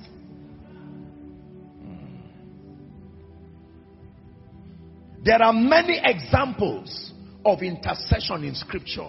I'll pick three to help us understand that intercession is a powerful ministry. Number one, let's go to the patriarch, Abraham. The Bible says, look unto Abraham your father and to Sarah that body. So we are looking up to him to study. In Genesis chapter 18, please give us from verse 16. Remember the visitation of the three angels that came to Abraham, having served them, the Bible says, and the men arose. Long reading, be patient. They arose up from tents and looked towards Sodom. And Abraham went with them to bring them on the way. Uh -huh. Very quickly, please. And the Lord said, Shall I hide from Abraham that thing which I do? Seeing that Abraham shall surely be a great and mighty nation, and all the nations of the earth shall be blessed in him. For I know him that he will command his children and his household after him that they shall keep the way of the Lord to do justice and judgment that the Lord might bring upon Abraham that which he had spoken. 20. And the Lord said, listen carefully now, because the cry of Sodom and Gomorrah is great and because their sin is very grievous I will go down now and see whether they have done altogether according to the cry of it which is come unto me. And if not I will know. And the men turned their faces from thence and went towards Sodom but Abraham stood yet before the Lord. And Abraham drew near and said, Will thou also destroy the righteous and the wicked? This is the character of an intercessor. Please go to 23. Are you seeing here that whether Sodom is destroyed or not, it was none of his business. But he reached out to say, look, I, I do not mean to dishonor you. But are you also going to destroy the righteous and the wicked? Next verse. Peradventure, there be 50 righteous within that city. Will thou also destroy and not spare the place for 50 righteous that are therein? That be, that be far from thee to do after this manner, to slay the righteous with the wicked, and that the righteous should not be as the wicked. That be far from thee. Shall not the judge of all the earth do right? Look at, look at, look at, look at him engaging intelligence in intercession. And the Lord said, if I find in Sodom 50 righteous within that city, what a city. Then I will spare all the place for their sake. And Abraham answered and said, Behold now, I have taken upon me to speak unto the Lord, which I am but dust and ashes. 28. Peradventure, there shall lack five of the fifty righteous. Will thou destroy the city for lack of five? And he said, If I find forty and five, I will not destroy it. 29. And he spake unto him yet again and said, Peradventure there shall be forty found there. And he said, I will not do it for forty's sake. Abraham, is it not enough? Watch an intercessor. And he said unto him, Oh, let not the Lord be angry, and I will speak. Peradventure, there shall thirty be found there. And he said, I will not do it if I find thirty there. And he said, Behold now, I have taken upon me to speak unto the Lord. Peradventure, there shall be twenty found there. And he said, I will not destroy it for twenty's sake. You are even tired already. You that is reading the story. You see how you are weary and tired I say, what I, Abraham. Are we together? And he said, Oh, let not the Lord be angry, and I will speak yet but this once. Peradventure, ten shall be found there. And he said, I will not destroy it for the sake of ten.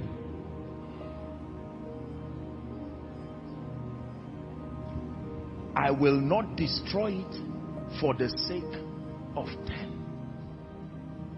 Abraham was safe. Abraham was fine. Listen to the commendation that God said about Abraham. That as far as you and your children are, I know you will teach them right. Yet, Abraham, hold on here. We want to go and visit a territory. And he said, please, I know that is not my concern. But intercession has made it my concern will you destroy the righteous and the wicked. Example number two, Jesus. Jesus the intercessor. Luke chapter 22 from verse 31. Luke 22 from verse 31. Remember the story of Simon and Satan coming into him? And the Lord said, Simon, Simon, behold, Satan had desired to have you that he may sift you as wheat. But I have prayed for thee. I didn't pray for myself. That means Satan would have prevailed. Because the spiritual intelligence to immune yourself from his effect, you do not yet have it. But I bridge that gap in prayer. That thy faith fail not. And when you are converted, use this strategy of intercession to also secure your brethren. That while they are still learning the ways of God, Satan will not have advantage of them. That means when you are converted, become an intercessor. And the people you train, train them to also become intercessors. John 17. Look at the ministry of intercession. Verse 1. Jesus lifted up his eyes to heaven Watch Jesus intercede now. Father, the hour is come. Glorify thy son, that thy son may glorify thee. Uh-huh. As thou hast given him power over all flesh, that he should give eternal life to as many as thou hast given him. Three, this is eternal life, that they might know thee, the only true God, and Jesus Christ whom thou hast sent. He says, I have glorified thee in the earth. I have finished the work which thou gavest me to do. Five. Now, O Father, glorify me with thy own self and with the glory that I had with thee from before the world was. Uh-huh. I have manifested thy name unto the men which thou gavest me, and they have kept your word. Verse 7. Now they have known all things, whatsoever thou hast given me are of thee. Verse 8. For I have given unto them the words which thou gavest me, and they have received them, and have known surely that I came out from thee, and they have believed that thou didst send me. Verse 9. I pray for them. I pray for them. Jesus the intercessor. I pray for them. I pray not for the world, but for them which thou hast given me, for they are thine. Verse 10. It says, All and all mine are thine, and thine is mine, and I am glorified in them. Watch the prayer of Jesus now. And now I am no more in the world, but these are in the world. And I come to thee, Holy Father. And it says, Keep through thy own name those that thou hast given me, that they may be one as we are. This is why I know the oneness of the body of Christ must come to pass. Because the person who prayed that prayer request was Jesus himself. Regardless the differences you see now, there is something called the unity of faith. Are we together? Hmm. Romans chapter 8 and verse 34 for sake of time. We're looking at Jesus the intercessor. Romans 8 34. Who is he that condemneth? It is Christ that died. Yea, rather, that is risen again. Who is even at the right hand of God. Who also makes intercession for us. That even after he resurrected, after his coronation, crowning him Lord, he still today makes intercession for the saints. Third example of intercession in scripture, the early church, Acts chapter 12. I hope you know that the condition for anything to be a doctrine, there is, theologically speaking now, anything is a doctrine if and when it was adumbrated in the Old Testament, condition number one. It was captured in the life and the experience of Jesus, number two. And it was practiced in the early church, number three. Any truth and any mystery that does not satisfy that threefold condition cannot be called a doctrine. It must be adumbrated, foreshadowed in the Old Testament. It must be captured in the life, the earth work of Jesus, and it must have been practiced by the early church. Are we together? Acts chapter 12. Let's start our reading from verse 1. Now about the time Herod the king stretched forth his hand to vex certain of the church too. And he killed James the brother of John with the sword. And because he saw it that it pleased the Jews, he proceeded further. Are you seeing what happens when we don't pray? Notice that the spirit of the Antichrist was the one walking through Herod. He, there were three people who were with Jesus at the Mount of Transfiguration. I hope you know there were different classification of the disciples. Is that true? There was the 72. There was the 12. There was the three and then there was John the beloved. All of them had different experiences. There was something the 12 had that the 72 did not have. There was something the three saw that the remaining 12 did not see. Satan, knowing this, began to handpick those he will destroy. Peter, James, and John. Remember the pillars. He destroyed James. They beheaded James, historically speaking. And he saw that it pleased the people. And he went straight to Peter. If he was done with Peter, he would have destroyed John. There was something. Now, you read the gospel and you find out. Read the writings of these three people. James, Peter, John. Aside from the Pauline epistles, you read their exegesis on, on, on the truth of God's word. There were mysteries that were given to them. And Satan knowing this, the spirit of the Antichrist were coming here. The spirits that move across territories. Herod just thought he was being political because it pleased them. He wanted to kill them so that the people would like him. But he did not know he was under the influence over that territory. The Bible says, and because he saw that it pleased the Jews, he proceeded further. Say no way. Shout it, say no way. Evil will always proceed further when there are no intercessors. Let me tell you this. Satan will come to a family and test something and watch the reaction. If all that he sees is just discussion and carnal analysis, he will proceed further. I tell you, Satan has the ability to proceed further if unhindered. Look at this. He proceeded further to take Peter also. He tested your finances and you kept quiet. You just assumed nothing was wrong. Your health is coming. I assure you, whatever Satan touches in your life and around your environment is not the only thing he wants. He wants everything. But he will touch something first and watch the reaction. If he finds out you are lukewarm and cold and careless and it does not matter, Everybody in the family just became sick overnight. I'm sure it's just the weather. He's coming again. He will proceed further. The Bible says, Then were the days of unleavened bread. Verse 4. And when he had apprehended him, Peter now, he put him in prison and delivered him to four quaternions of soldiers to keep him, intending that after Easter to bring him forth to the people. Peter would have died. Peter was kept in the prison. Help me read believers.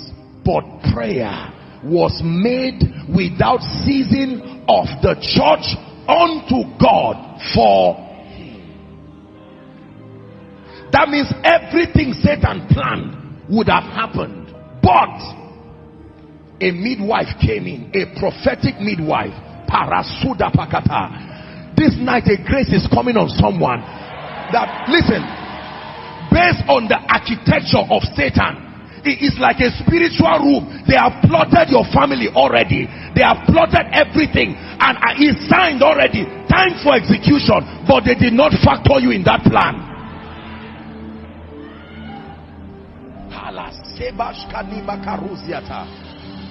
Hear me. The reason why Job became a victim of what he saw was because there was no intercessor to stand for Job. If there was an intercessor, Satan would be wasting his time. Hear me. The catastrophe did not just touch Job's children because he was an intercessor for them. But no one was an intercessor for him. So when the devil got their intercessor, he got them too.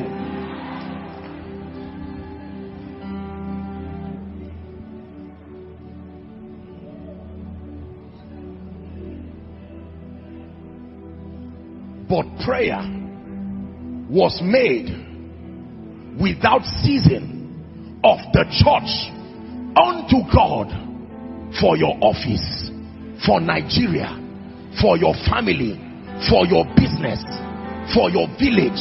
Prayer was made unto God. That means, could it be that it was not the plan of God for James to die. Could it be that their intercessory ministry came late?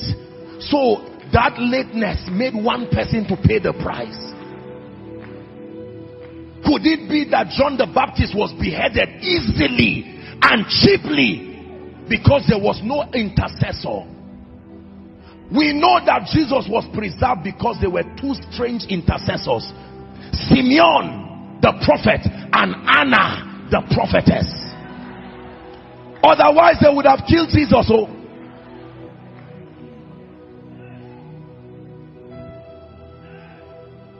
Please sit down. Prayers was made unto God to, by the church for him. Let's read verse 6, last verse. And when Herod would have brought him forth, the same night, the same night, Peter was sleeping between two soldiers, bound with two chains, and the keepers before the door of the prison. Let's finish up and put perspective to it. Verse 7. And behold, at the instance of intercession, the angel of the Lord, question, where was that angel with James?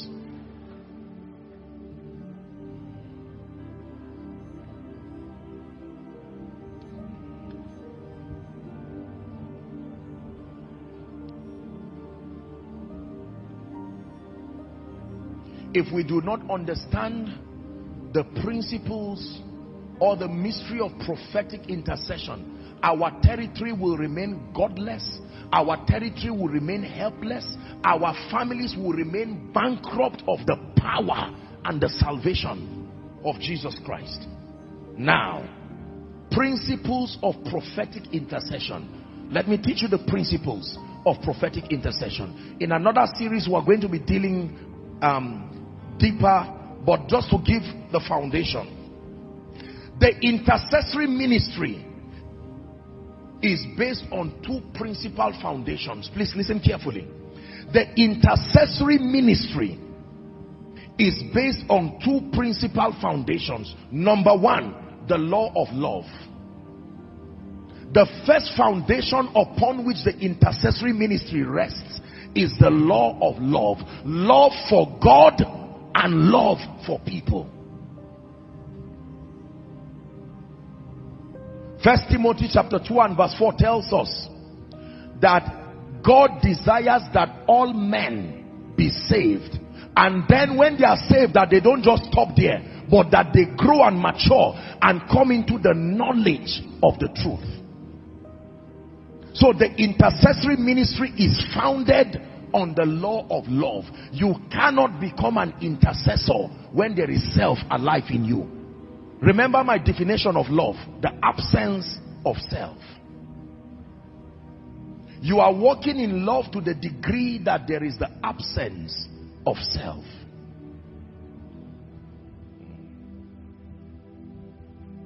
Why go through the labor of prayer, the labor of fasting, the labor of stretching and discomforting yourself over an issue that is not your business. Can I tell you this? As you will be learning, everything you make happen for someone, you are delivering yourself to from that trouble. That was the mistake of Esther. When Esther had a chance to advocate, she was in the palace. She was already immune. Don't forget, this is the wife of the king. And Mordecai sent a warning to her. He said, if you leave us, God will raise another help for us. But when they are done with us, when they find out you are a Jew too, you will see what will happen to you in that palace. And Esther said, no, no, no, no, no. She put on her sackcloth and ashes. He said, I'm, I'm going to the king, but let us fast and pray. Pray for me so that I can intercede for you too. They were all, all intercessors for one another. They prayed for her. And she went before the king, violated the ordinance of approaching his presence, and yet he lifted the golden censer because prayer had gone up. If she just stepped in carelessly and casually, that inner chamber, that would have been the last time. What happened to Vashti? At least Vashti was driven away. She would have been killed. You know those days they kill. They don't forgive. No counseling, no nothing. They kill straight to the point.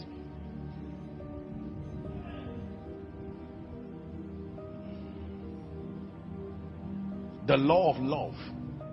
You see, most of what we do as believers that we think is spirituality is just a marketing of flesh. There is such and let me tell you this. You know you are growing spiritually to the degree to which you and your interest decreases. Where you are burdened with the purposes of the kingdom greater than your personal desires. That was temptation number one. When satan came to jesus temptation number one was your individual appetite. Turn this stone to bread you are hungry. You need bread. Forget about your assignment and what your father sent you. Satisfy your hunger. And Jesus said, I've moved past that realm. The agenda of God is bigger than my personal hunger. Are we together now? Many of us, as prayerful as we are, everything centers around us. Not even your family members not even your wife, not even your husband. It's none of your business what happens to anybody. Provided I am hot, then I pray. If I am fine, to hell with what is happening in the body. Respectfully speaking, and with all due respect and honor to the body of Christ, even we men of God, we have this spirit. And we have mentored and taught members to walk like that. Whatever is happening to the church is not your business. Provided koinonia is fine. Provided we are growing. Whether a church is being burnt, whether whatever is happening, that's none of your business. We are fine. Do not make the mistake of Esther. You know you are matured spiritually when you can receive the pain that is in the heart of Jesus so that you find yourself fasting for three days over an issue that is entirely not your business. God can trust you with the salvation of many. And say listen in this family in seven days all of them are about to die. This is what Satan has programmed. And there is the spirit that brings salvation hovers around the family. There is no intercessor. And it comes to you. Can I trust you for the redemption of this family? And you can wake up in the night I can't be trusted. Lord, what are we doing? It's none of your business. You just stand and while you pray, angels come and you find out that by prophecy, that family should die. listen, don't fear negative prophecy when there is an intercessor. No, no, no, no, no.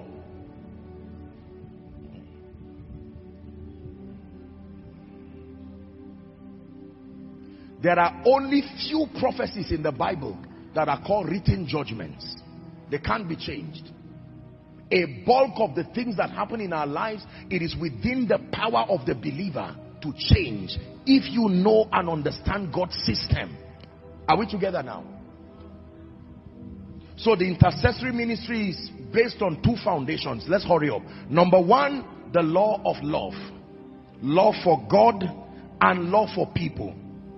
The intercessory ministry is not based on the desire to pray. Uh-uh. The intercessory ministry is not based on the desire to be powerful. No.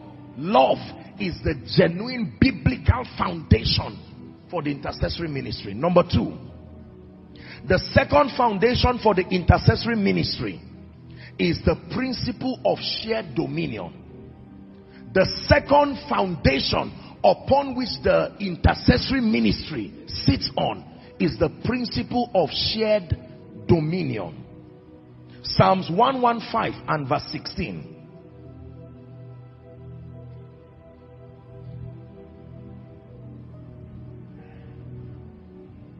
Psalms 115 and verse 16. Hmm. Yeshua.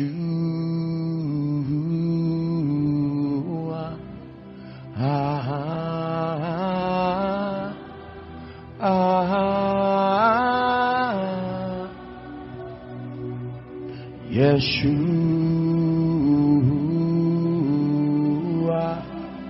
Ah,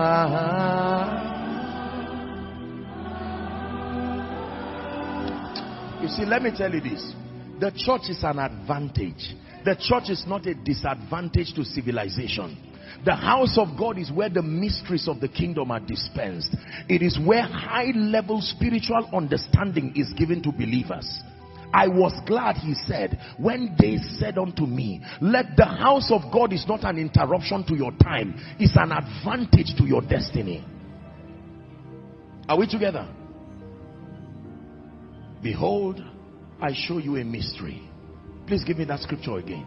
The heaven, even the heavens are the Lord's, but the earth has he given to the children of men.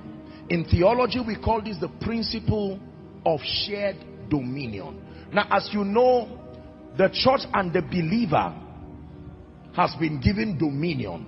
But our dominion is not absolute dominion. Our dominion is derived. Are we together now? That means to we depend on what we were given.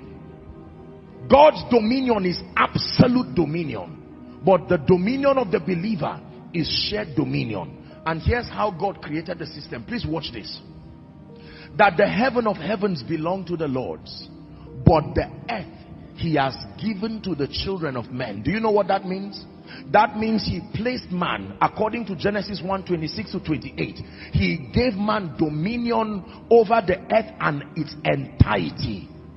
That means if God wants to do anything on earth, and if Satan wants to do anything on earth, both God and Satan must add men to the equation of dominion for anything to happen in the earth. God has the power to veto man, but he has limited himself to honor man by saying, man, as far as the earth is concerned, you must become a factor to reckon with if anything will happen in the earth. Do you know why Satan is powerful? Satan is powerful for as long as there is one unsaved person and one ignorant person. This is where Satan derives his strength. The confidence of Satan is based on the fact that he thinks it will be impossible for everybody on earth to be saved and everybody to come into the fullness of the stature. So he knows provided there is one available vessel, a legion was in one person. This is Satan's confidence. He is not moved by the fact that many things are happening. He's threatened, but not moved. Because there is still one person he can deceive. There is still one soul he can kill, steal, and destroy from. There is a law called the law of territory. That means you are not allowed to be a legitimate functionary within a territory until you are built with the materials of that territory. Are we together now? You cannot go to heaven. You cannot even enter the realm of the spirit with this body. It has to change. That is why when you are having a visionary experience, it's your spirit that accesses that realm. The physical body remains here. When you dream, it's not your body. The body you see there is just the spirit body. Are we together now? Remember, we can leave, but we are not going with this body something will happen according to the authority of scripture when the trumpet sounds those who are dead in christ will rise first is that true go to the grave and see whether their bodies are there. It's decayed already. So another body would be given to them. Bodies incorruptible. And we who are alive and are kept we will be changed. Are we together now? Yes. The reason why demons, the reason why spirits cannot function legitimately on earth is because they did not descend to the earth with a body. A body was only made for Adam and his generation. Are you seeing that now? If you know this, you will now, we have the mystery of deliverance coming. So let me not hurry up. I will be teaching you a deep mystery. Why people go to bed and see these spirits come to molest them.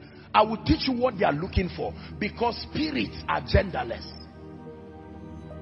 There is no male and female spirit. So what is the appearance of that man that comes to you? Or that woman that comes to you? There is a mystery and there is an explanation. What are they looking for?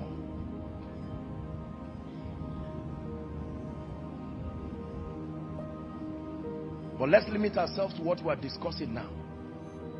Are we learning already? The intercessory ministry is based on two foundations. Number one, the law of love. Number two, the principle of shared dominion. That means when it has to do with happenings in the earth, it is not all up to God and it is not all up to man. There is a participatory role that we have to play. So don't look at the earth and say, if there is a God in heaven, this answers the question that people say, if there is a God of heaven, in heaven, why is there killing and raping and maiming people? I will tell you, that part of the equation came as a result of man's carelessness. Are we together? It is the reason why there are territories today that do not call upon the name of Yeshua and yet there is dexterity and order within that territory. Because they took advantage of the principles of scripture that make for leadership and they replicated heaven within that territory. The principle of shared dominion. Question. What power does satan use to destroy man? Who can answer that question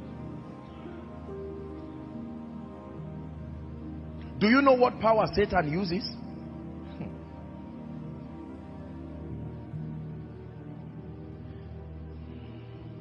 Once have I spoken, twice have you heard that all power belongs to the Lord.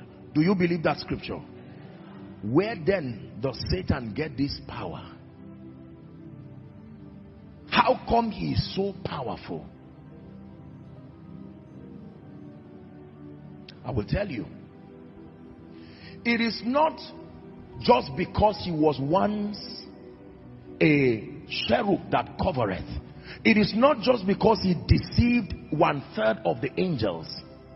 Are we together now? In as much as it is true, you see, one thing with light is that once you have received light, light is like DNA.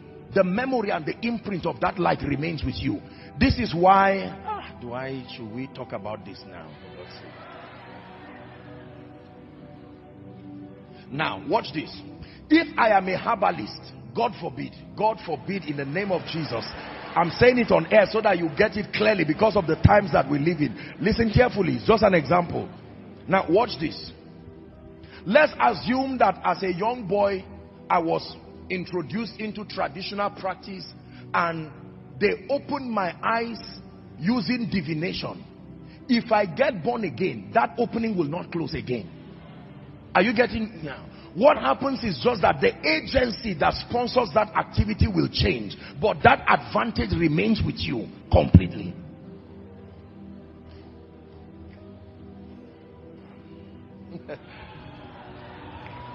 Listen. Satan was once the light bearer. The imprint of that light you see. Even though he's fallen right now it cannot be undone again. Like to brainwash the mysteries. Listen carefully. There are three levels of accessing power. The highest is power through intimacy relationship. Are we together now? The highest level of spiritual power comes through intimacy the second level comes by accessing the mysteries of the kingdom. There is a dimension of the power of God invested in mysteries. You don't need a relationship for that to work. All you need is understanding and the faith to engage it. This is the kind of power that is used by herbalists and spiritualists. Those who practice divination, what they are teaching them are things that are largely founded from scripture but empowered by demonic agencies. That's why they fast too. That's why they do all of these things too. Whether you are serving God or Satan you will still fast. Is that true? Because there is something it can do to you.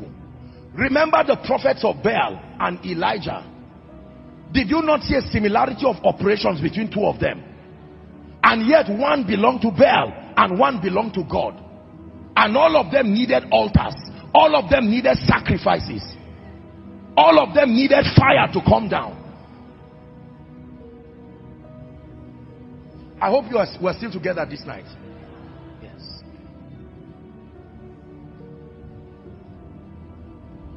If you do not understand the principle of shared dominion the devil will take advantage of your life and you will sit down and believe everything that is happening to you is the will of God Satan will deceive you into saying, look, if it happens, is the will of God. Just give thanks. Because you do not understand that the heaven of heavens belong to the Lord. But the earth has he given to the sons.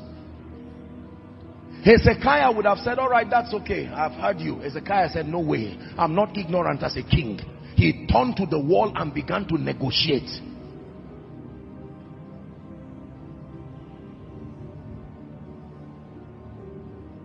The law of love and the principle of shared dominion. Now, for sake of time, very quickly,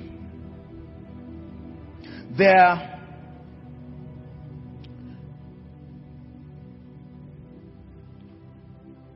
there are there are two basic principles. Listen carefully.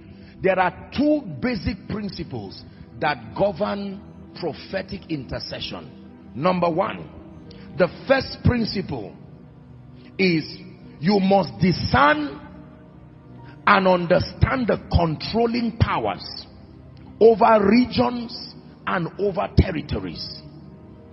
You want to become a prophetic intercessor, eh, intercessor you must understand, discern and understand the controlling powers over regions and over territories. Daniel chapter 10 and verse 13. Please look up. There are many people who pray and pray and miss. Prophetic intercession is not just prayer request. These are deeper levels of prayer that work with high level spiritual intelligence. This was Daniel. Remember when the angel came to him, Gabriel now, he was giving him an explanation as to why he came late. He says, but the prince of the kingdom of Persia withstood me one and twenty days. But lo, Michael, one of the chief princes, came to help me and I remained there with the king of Persia. What was the king of Persia fighting? Verse 14. Now I am come to make thee understand what shall befall who? Thy people. He was not attacking Daniel. He was attacking salvation that was coming to the people through the revelation that will be given to Daniel. And he discerned the prince of Persia. He kept praying. He set himself to fast and pray for 21 days for the answer to come. Can I tell you this? Please look at me. The Bible does not leave the believer in the dark as to the fact that Satan has an organized demonic structure. This is not teaching or glorifying Satan, but it's the truth from scripture.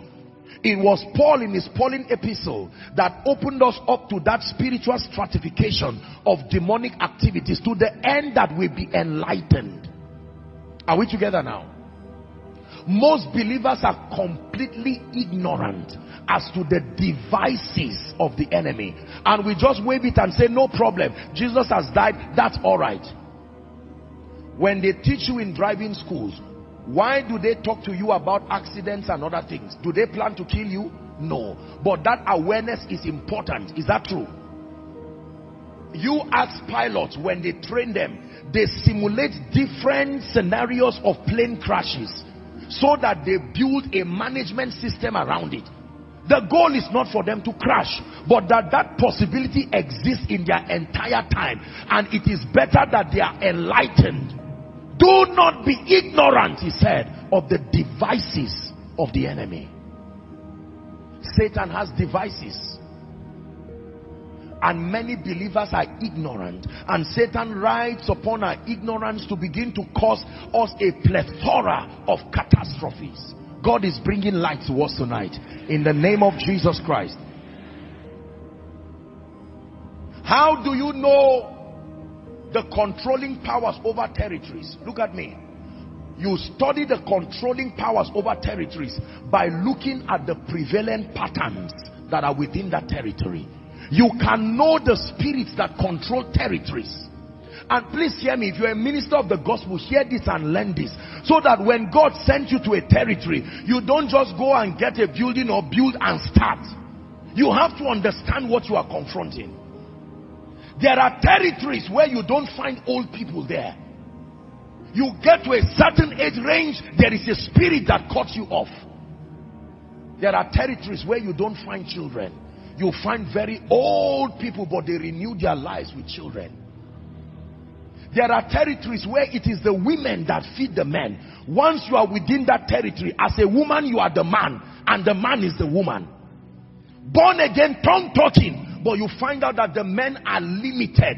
The house is paid for by the woman. Don't feel bad. I'm not, I'm not trying to look down on you. But it ought not to be so. That is not God's order. Are we together now? There are families where the parents are always greater than the children. You can give birth to eight children. The highest of them will become something you are not proud of saying. No matter how hardworking. Have you seen people travel to America after 10, 20 years? They return back like armed robbers. They look like the spirit of the city.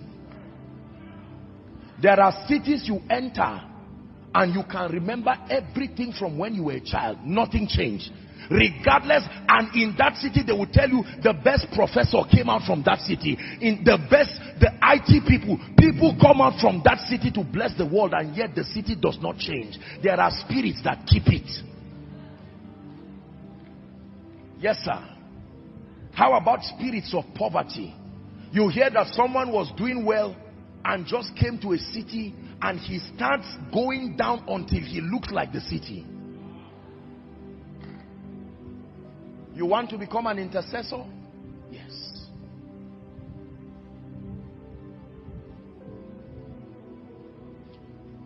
This also applies to families. There are families where things don't work. Please don't, I hope you understand what I'm teaching you now. Yes. Father was educated and serious. Mother was educated and serious. All the children graduates, grandchildren graduates and yet nobody can have a decent job. The most successful person, the longest person who worked there, worked only three years.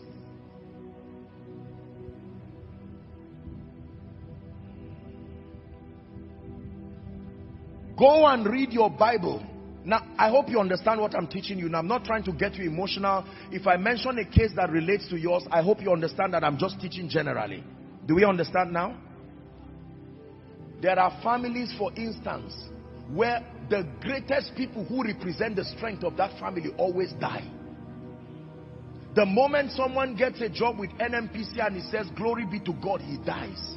So you find a territory with weak people. All the people that have the strength to bring deliverance, there is a spirit that comes to cut them short. You are not an intercessor if you do not understand the burden of the territory. What are you praying over? You don't just, listen, an intercessor does not say, God, give people jobs. Oh, God, give people children. That's a child's prayer. You come to the root of the problem. The controlling powers. Many years ago, you've heard it in my teachings, many years ago, I went to preach somewhere in northern Nigeria. It was a crusade. A CAN crusade, I think, or, or something of that sort. And through God is my witness I saw several, something was happening to the women. Now, I'm not a medical doctor, but every time they gave birth, they became deaf and dumb immediately.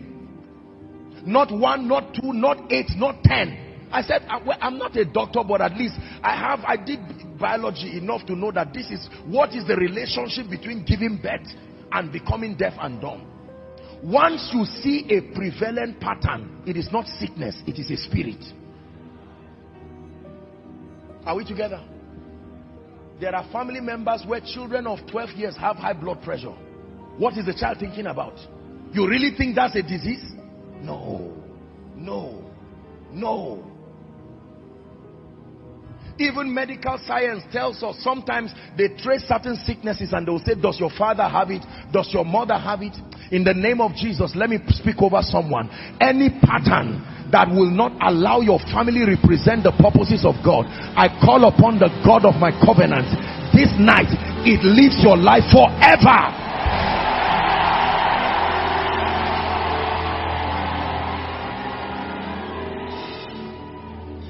Please sit down. I have seen patterns of poverty over families. There are territories where the preachers never break through anointed, they love God sincerely. Some of the, the holiest, godliest men, and yet the territory does not open. After 10 years, 40 members, it declines to 30. During Thanksgiving, it goes to 80. And you see the people saying, God, did you send me? If only they understood that there are veils and there are gates over territories. Listen to what I'm telling you. There are controlling powers over territories. There are controlling powers over regions. There are controlling powers over families. Don't you think the devil will just fold his arms and watch you and your children just go like that? There is a Pharaoh that will fight your exodus. It takes spiritual intelligence to define your possibilities.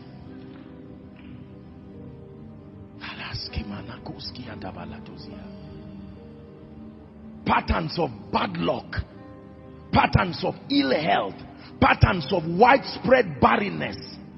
Mother barren, gave birth only after 10 years. Uh, um, brothers barren, sister barren is a demonic thing.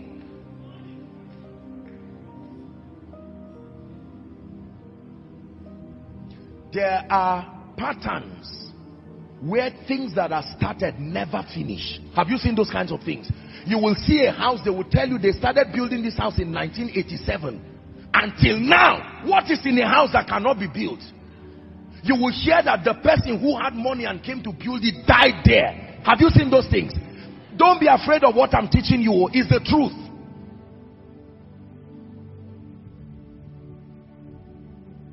You stand upon a territory Jesus looked over Jerusalem and began to cry. Why was he crying? He saw that there was a spirit that casted blindness on the people. Oh Jerusalem, Jerusalem, he said, if thou had known even in this thy time the things that pertain unto your peace, but they are hidden from you. The widow at Nain, there, is a, there was a pattern that kills all the men in her life her husband died. Her only child was about to die and the intercessor came and said no we have to change something here. God is raising many of you right now because there, there are age-long some of them centuries old problems in your area. And your grandfathers tried to do the best. Help them please they tried to do the best that they could do. My God, I sense such an anointing. Such an anointing. Such an anointing. Just help those under the anointing. Blow, blow, blow like a mighty wind. Spirit of victory. Cover us with your wings. Will you blow, blow, blow like a mighty wind?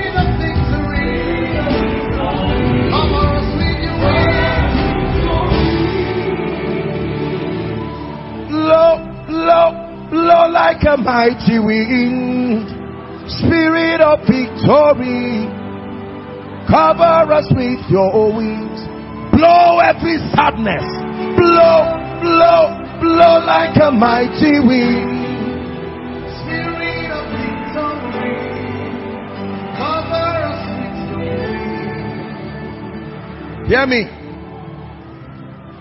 There are territories that have patterns where those who work for things never enjoy it. Have you seen that pattern? You labor, there are people who have raised others. There are people in Nigeria. Almost every great name they participated in their rising, and yet there is nothing for you. It's a spirit, it's a pattern. They sit over territories.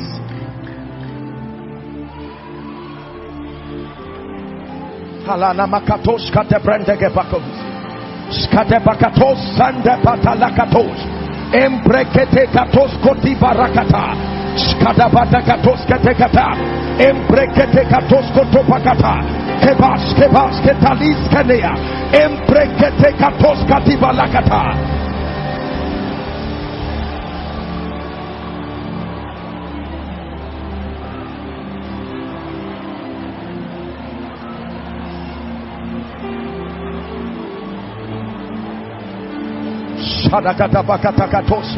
Empreteke parakatos katikata. Kebrentes. Kaparis. Just pray in the spirit in one minute.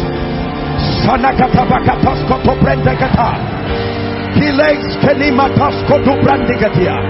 I sought for a man who would stand in the gap that I would not destroy them.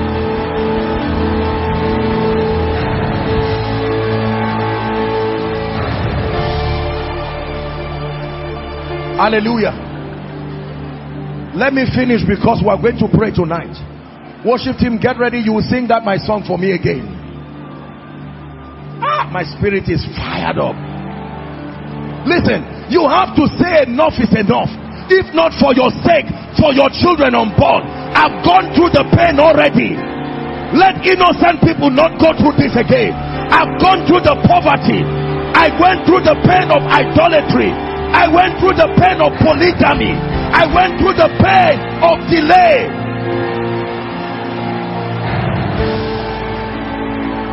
Go through it for their sake. That is the character of an intercessor. Shakatabakatos.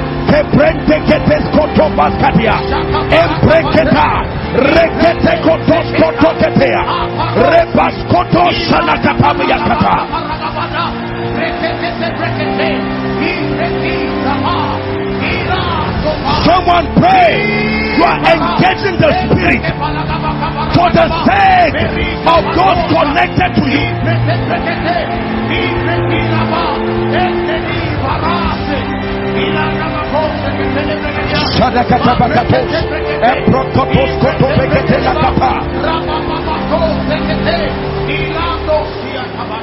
Listen to me. Hear me.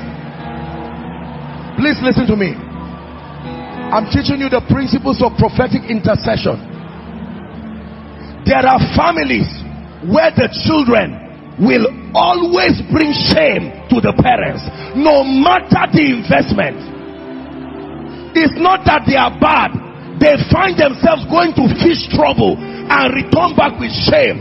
You send them to go for studies, they return with shame wasting your money and your time. Remember what I taught you. He continued further. If and when unhindered, evil will always continue further. Hear me. Let me tell you this. I made up my mind and I made a covenant with God that everything I've suffered in my life it ends with me. My children will never whether spiritual or physical they will never. This is the character of an intercessor. In one minute i'd like you to pray. Send prayer investments let it end with me. Let it end with me. The poverty, the failure, the limitation. Let it end here. Thus far have you come. No further shall you go.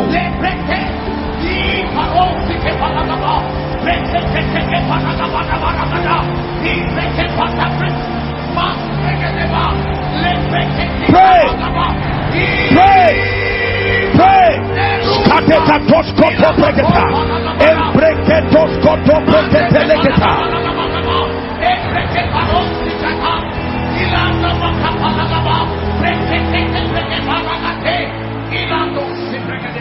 In the name of Jesus. In the name of Jesus. Please sit down. Please sit down. Just help those under the anointing. Now, hear me, please. Don't be distracted. We are praying. I want you right now as you are seated in one minute. Study the patterns you have seen in your family. Just think about it honestly. Study the patterns you have seen from the region you come from. There are regions that have the spirit of anger. There are regions that have the spirit of disunity. There are regions that have the spirit of irresponsibility. It's the women that serve the men. There are regions that have, help them please. Kavashkanikatosia, Widespread laziness.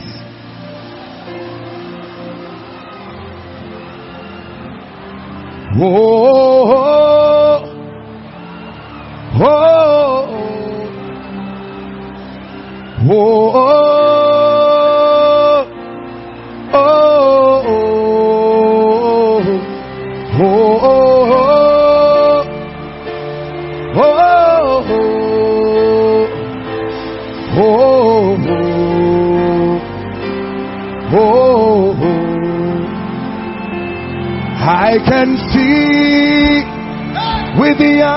Of the Spirit,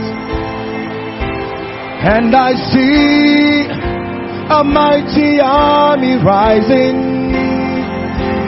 Yes, I know they're rising in the thousands, coming from afar, coming from afar. Oh, oh, oh, oh.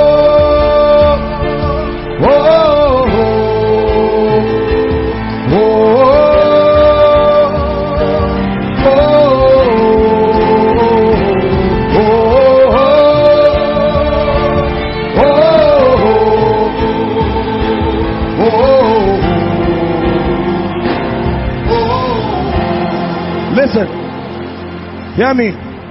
Please listen carefully. Listen. It was from Zaria that the Lord sent me here. There is a spirit over that region.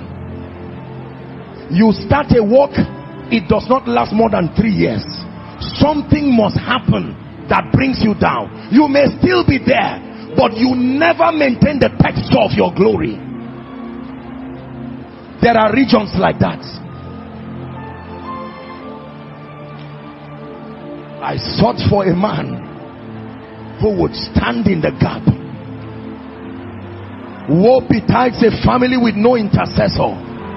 Woe betides a business with no intercessor. Don't you think because it's business you don't intercede? Woe betides a ministry that has sounds and mics and has beautiful skilled people but without intercessors.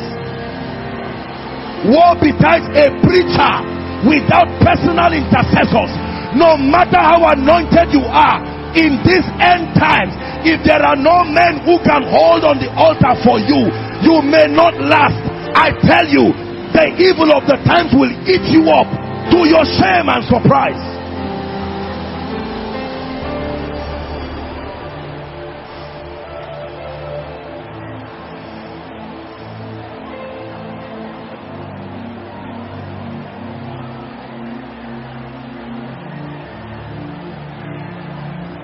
Please sit down. Controlling powers. I've shared with you my vision that I was praying some years ago when the ceiling in my room just disappeared and I'm seeing this spirit and this being looking at me looking like Leviathan looking like like like a dinosaur with a tail that had its own life. The eyes were big as a human eye. And he says so you think you can bring God's people into abundance? And I saw that spirit. There are horns that stop the voices of men from rising to the nations. There are many anointed people in this nation there are many gifted people in many families but there are spirits sitting on their glory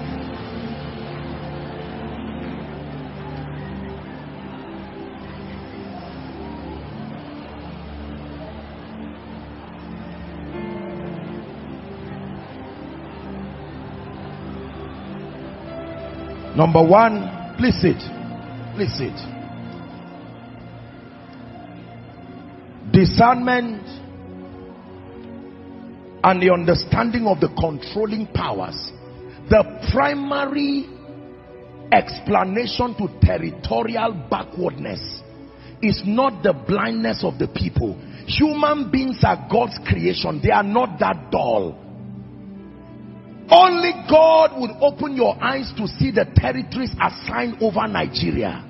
Don't you think Nigeria is just sitting free of attacks?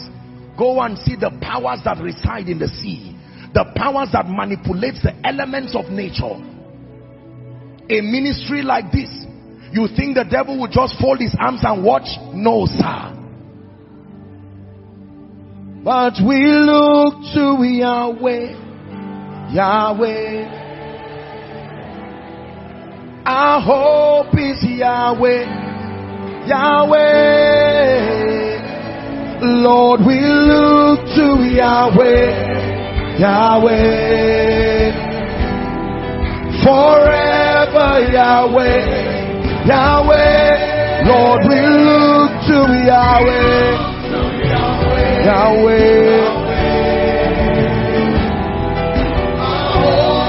Yahweh, Yahweh.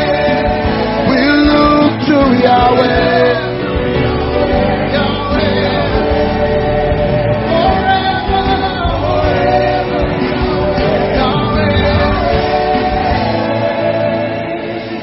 Hallelujah. Oh, I didn't see Reverend Vindiolu. God bless you, sir. Such an honor to have you and your team. Thank you so much. Sincerely celebrate and appreciate you. Listen to me. Let me finish what I'm doing and would dedicate some time. You are not praying this night for yourself.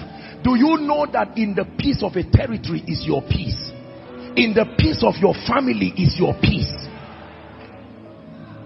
God is birthing spiritual midwives tonight who will hold on the four horns of the altar and cry until something breaks open.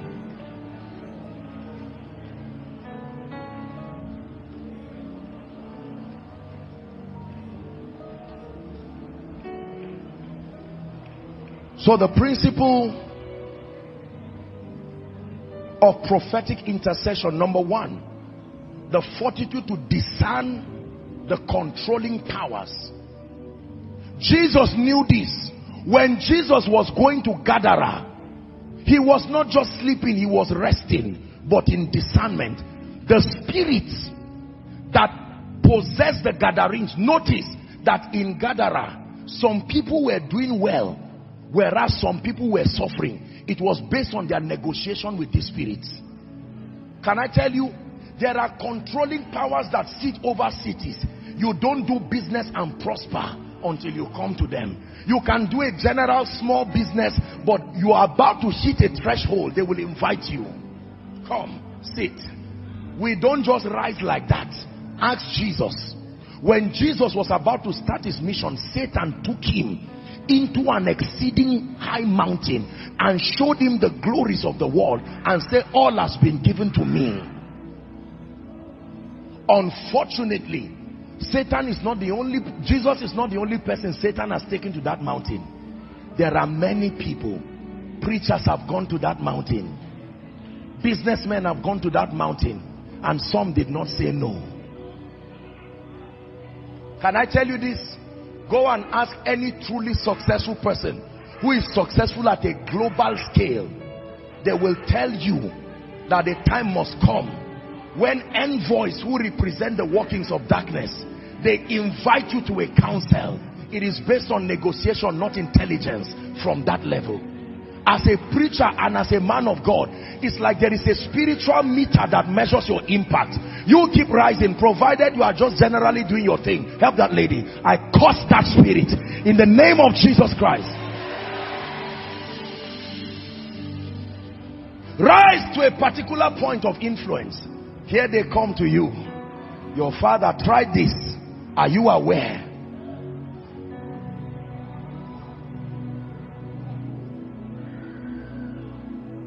Influence does not just happen because you have what to say.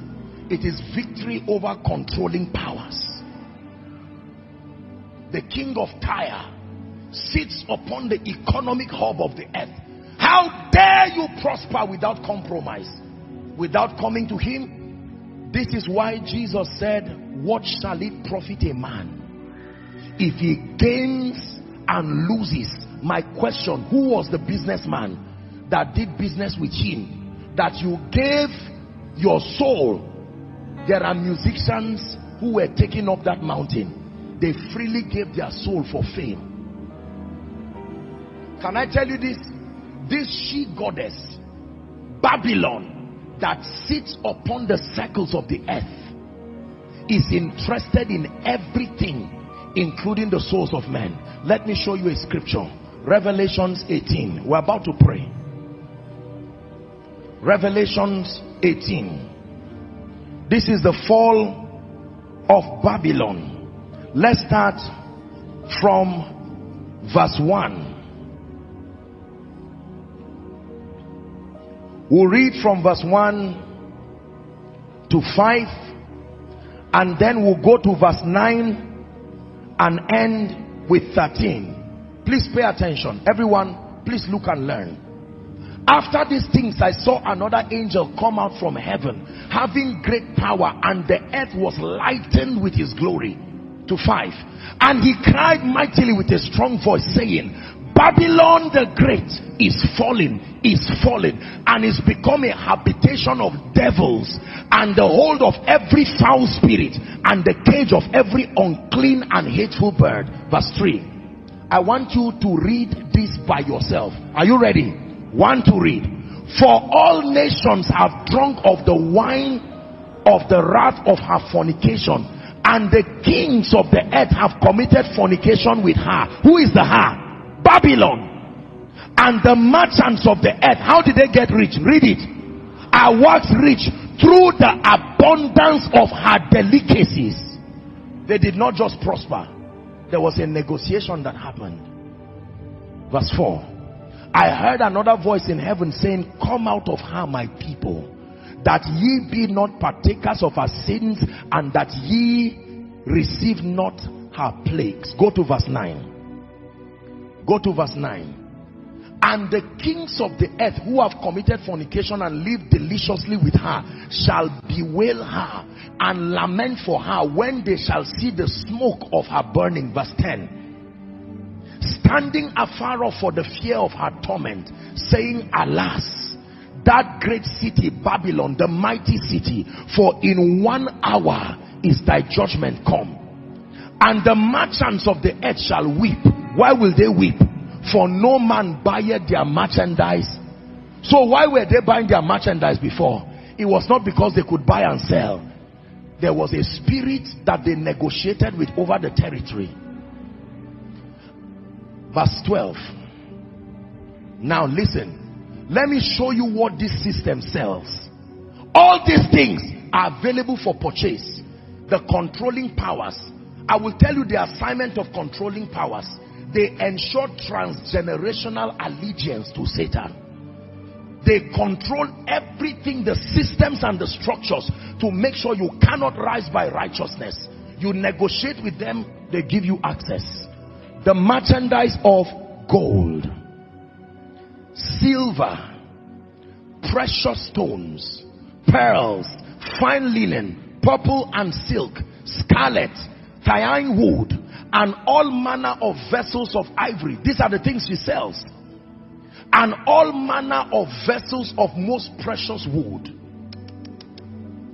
You know the Bible says, what shall it profit a man if he gains the whole world and does what? That means if Babylon gives you the world, what does she collect? I will show you what she does with those souls. Verse 13. Let's read. Cinnamon, odors, ointments. Hold on. Babylon can give you anointing. She sells it too. You can go and say, I'm tired of ministry not working. Let's negotiate. This territory cannot be that difficult. And she says, I will give you anointing frankincense and wine and oil, fine flour and wheat and beast. Now you start reading. Sheep, horses. What else? What does she sell again? Where did she get the souls? The people who came to her for exchange. Babylon has souls. Babylon has slaves she can give you access to the hearts of men so that whether you sing anything no matter how nice it is a million people can love you in one day. Those souls come from her. It does not just happen. Dear people of God.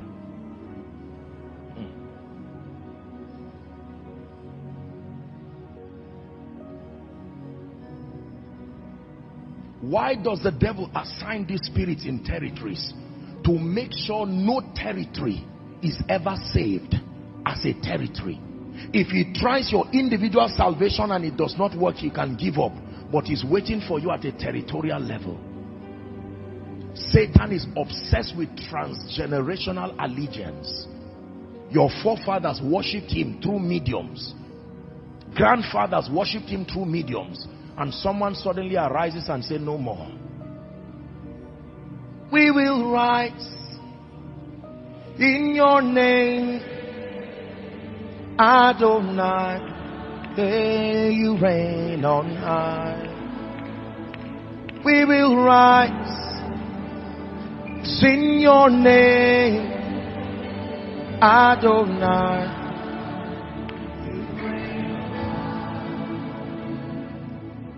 Here comes a generation that says we will not bow to Babylon.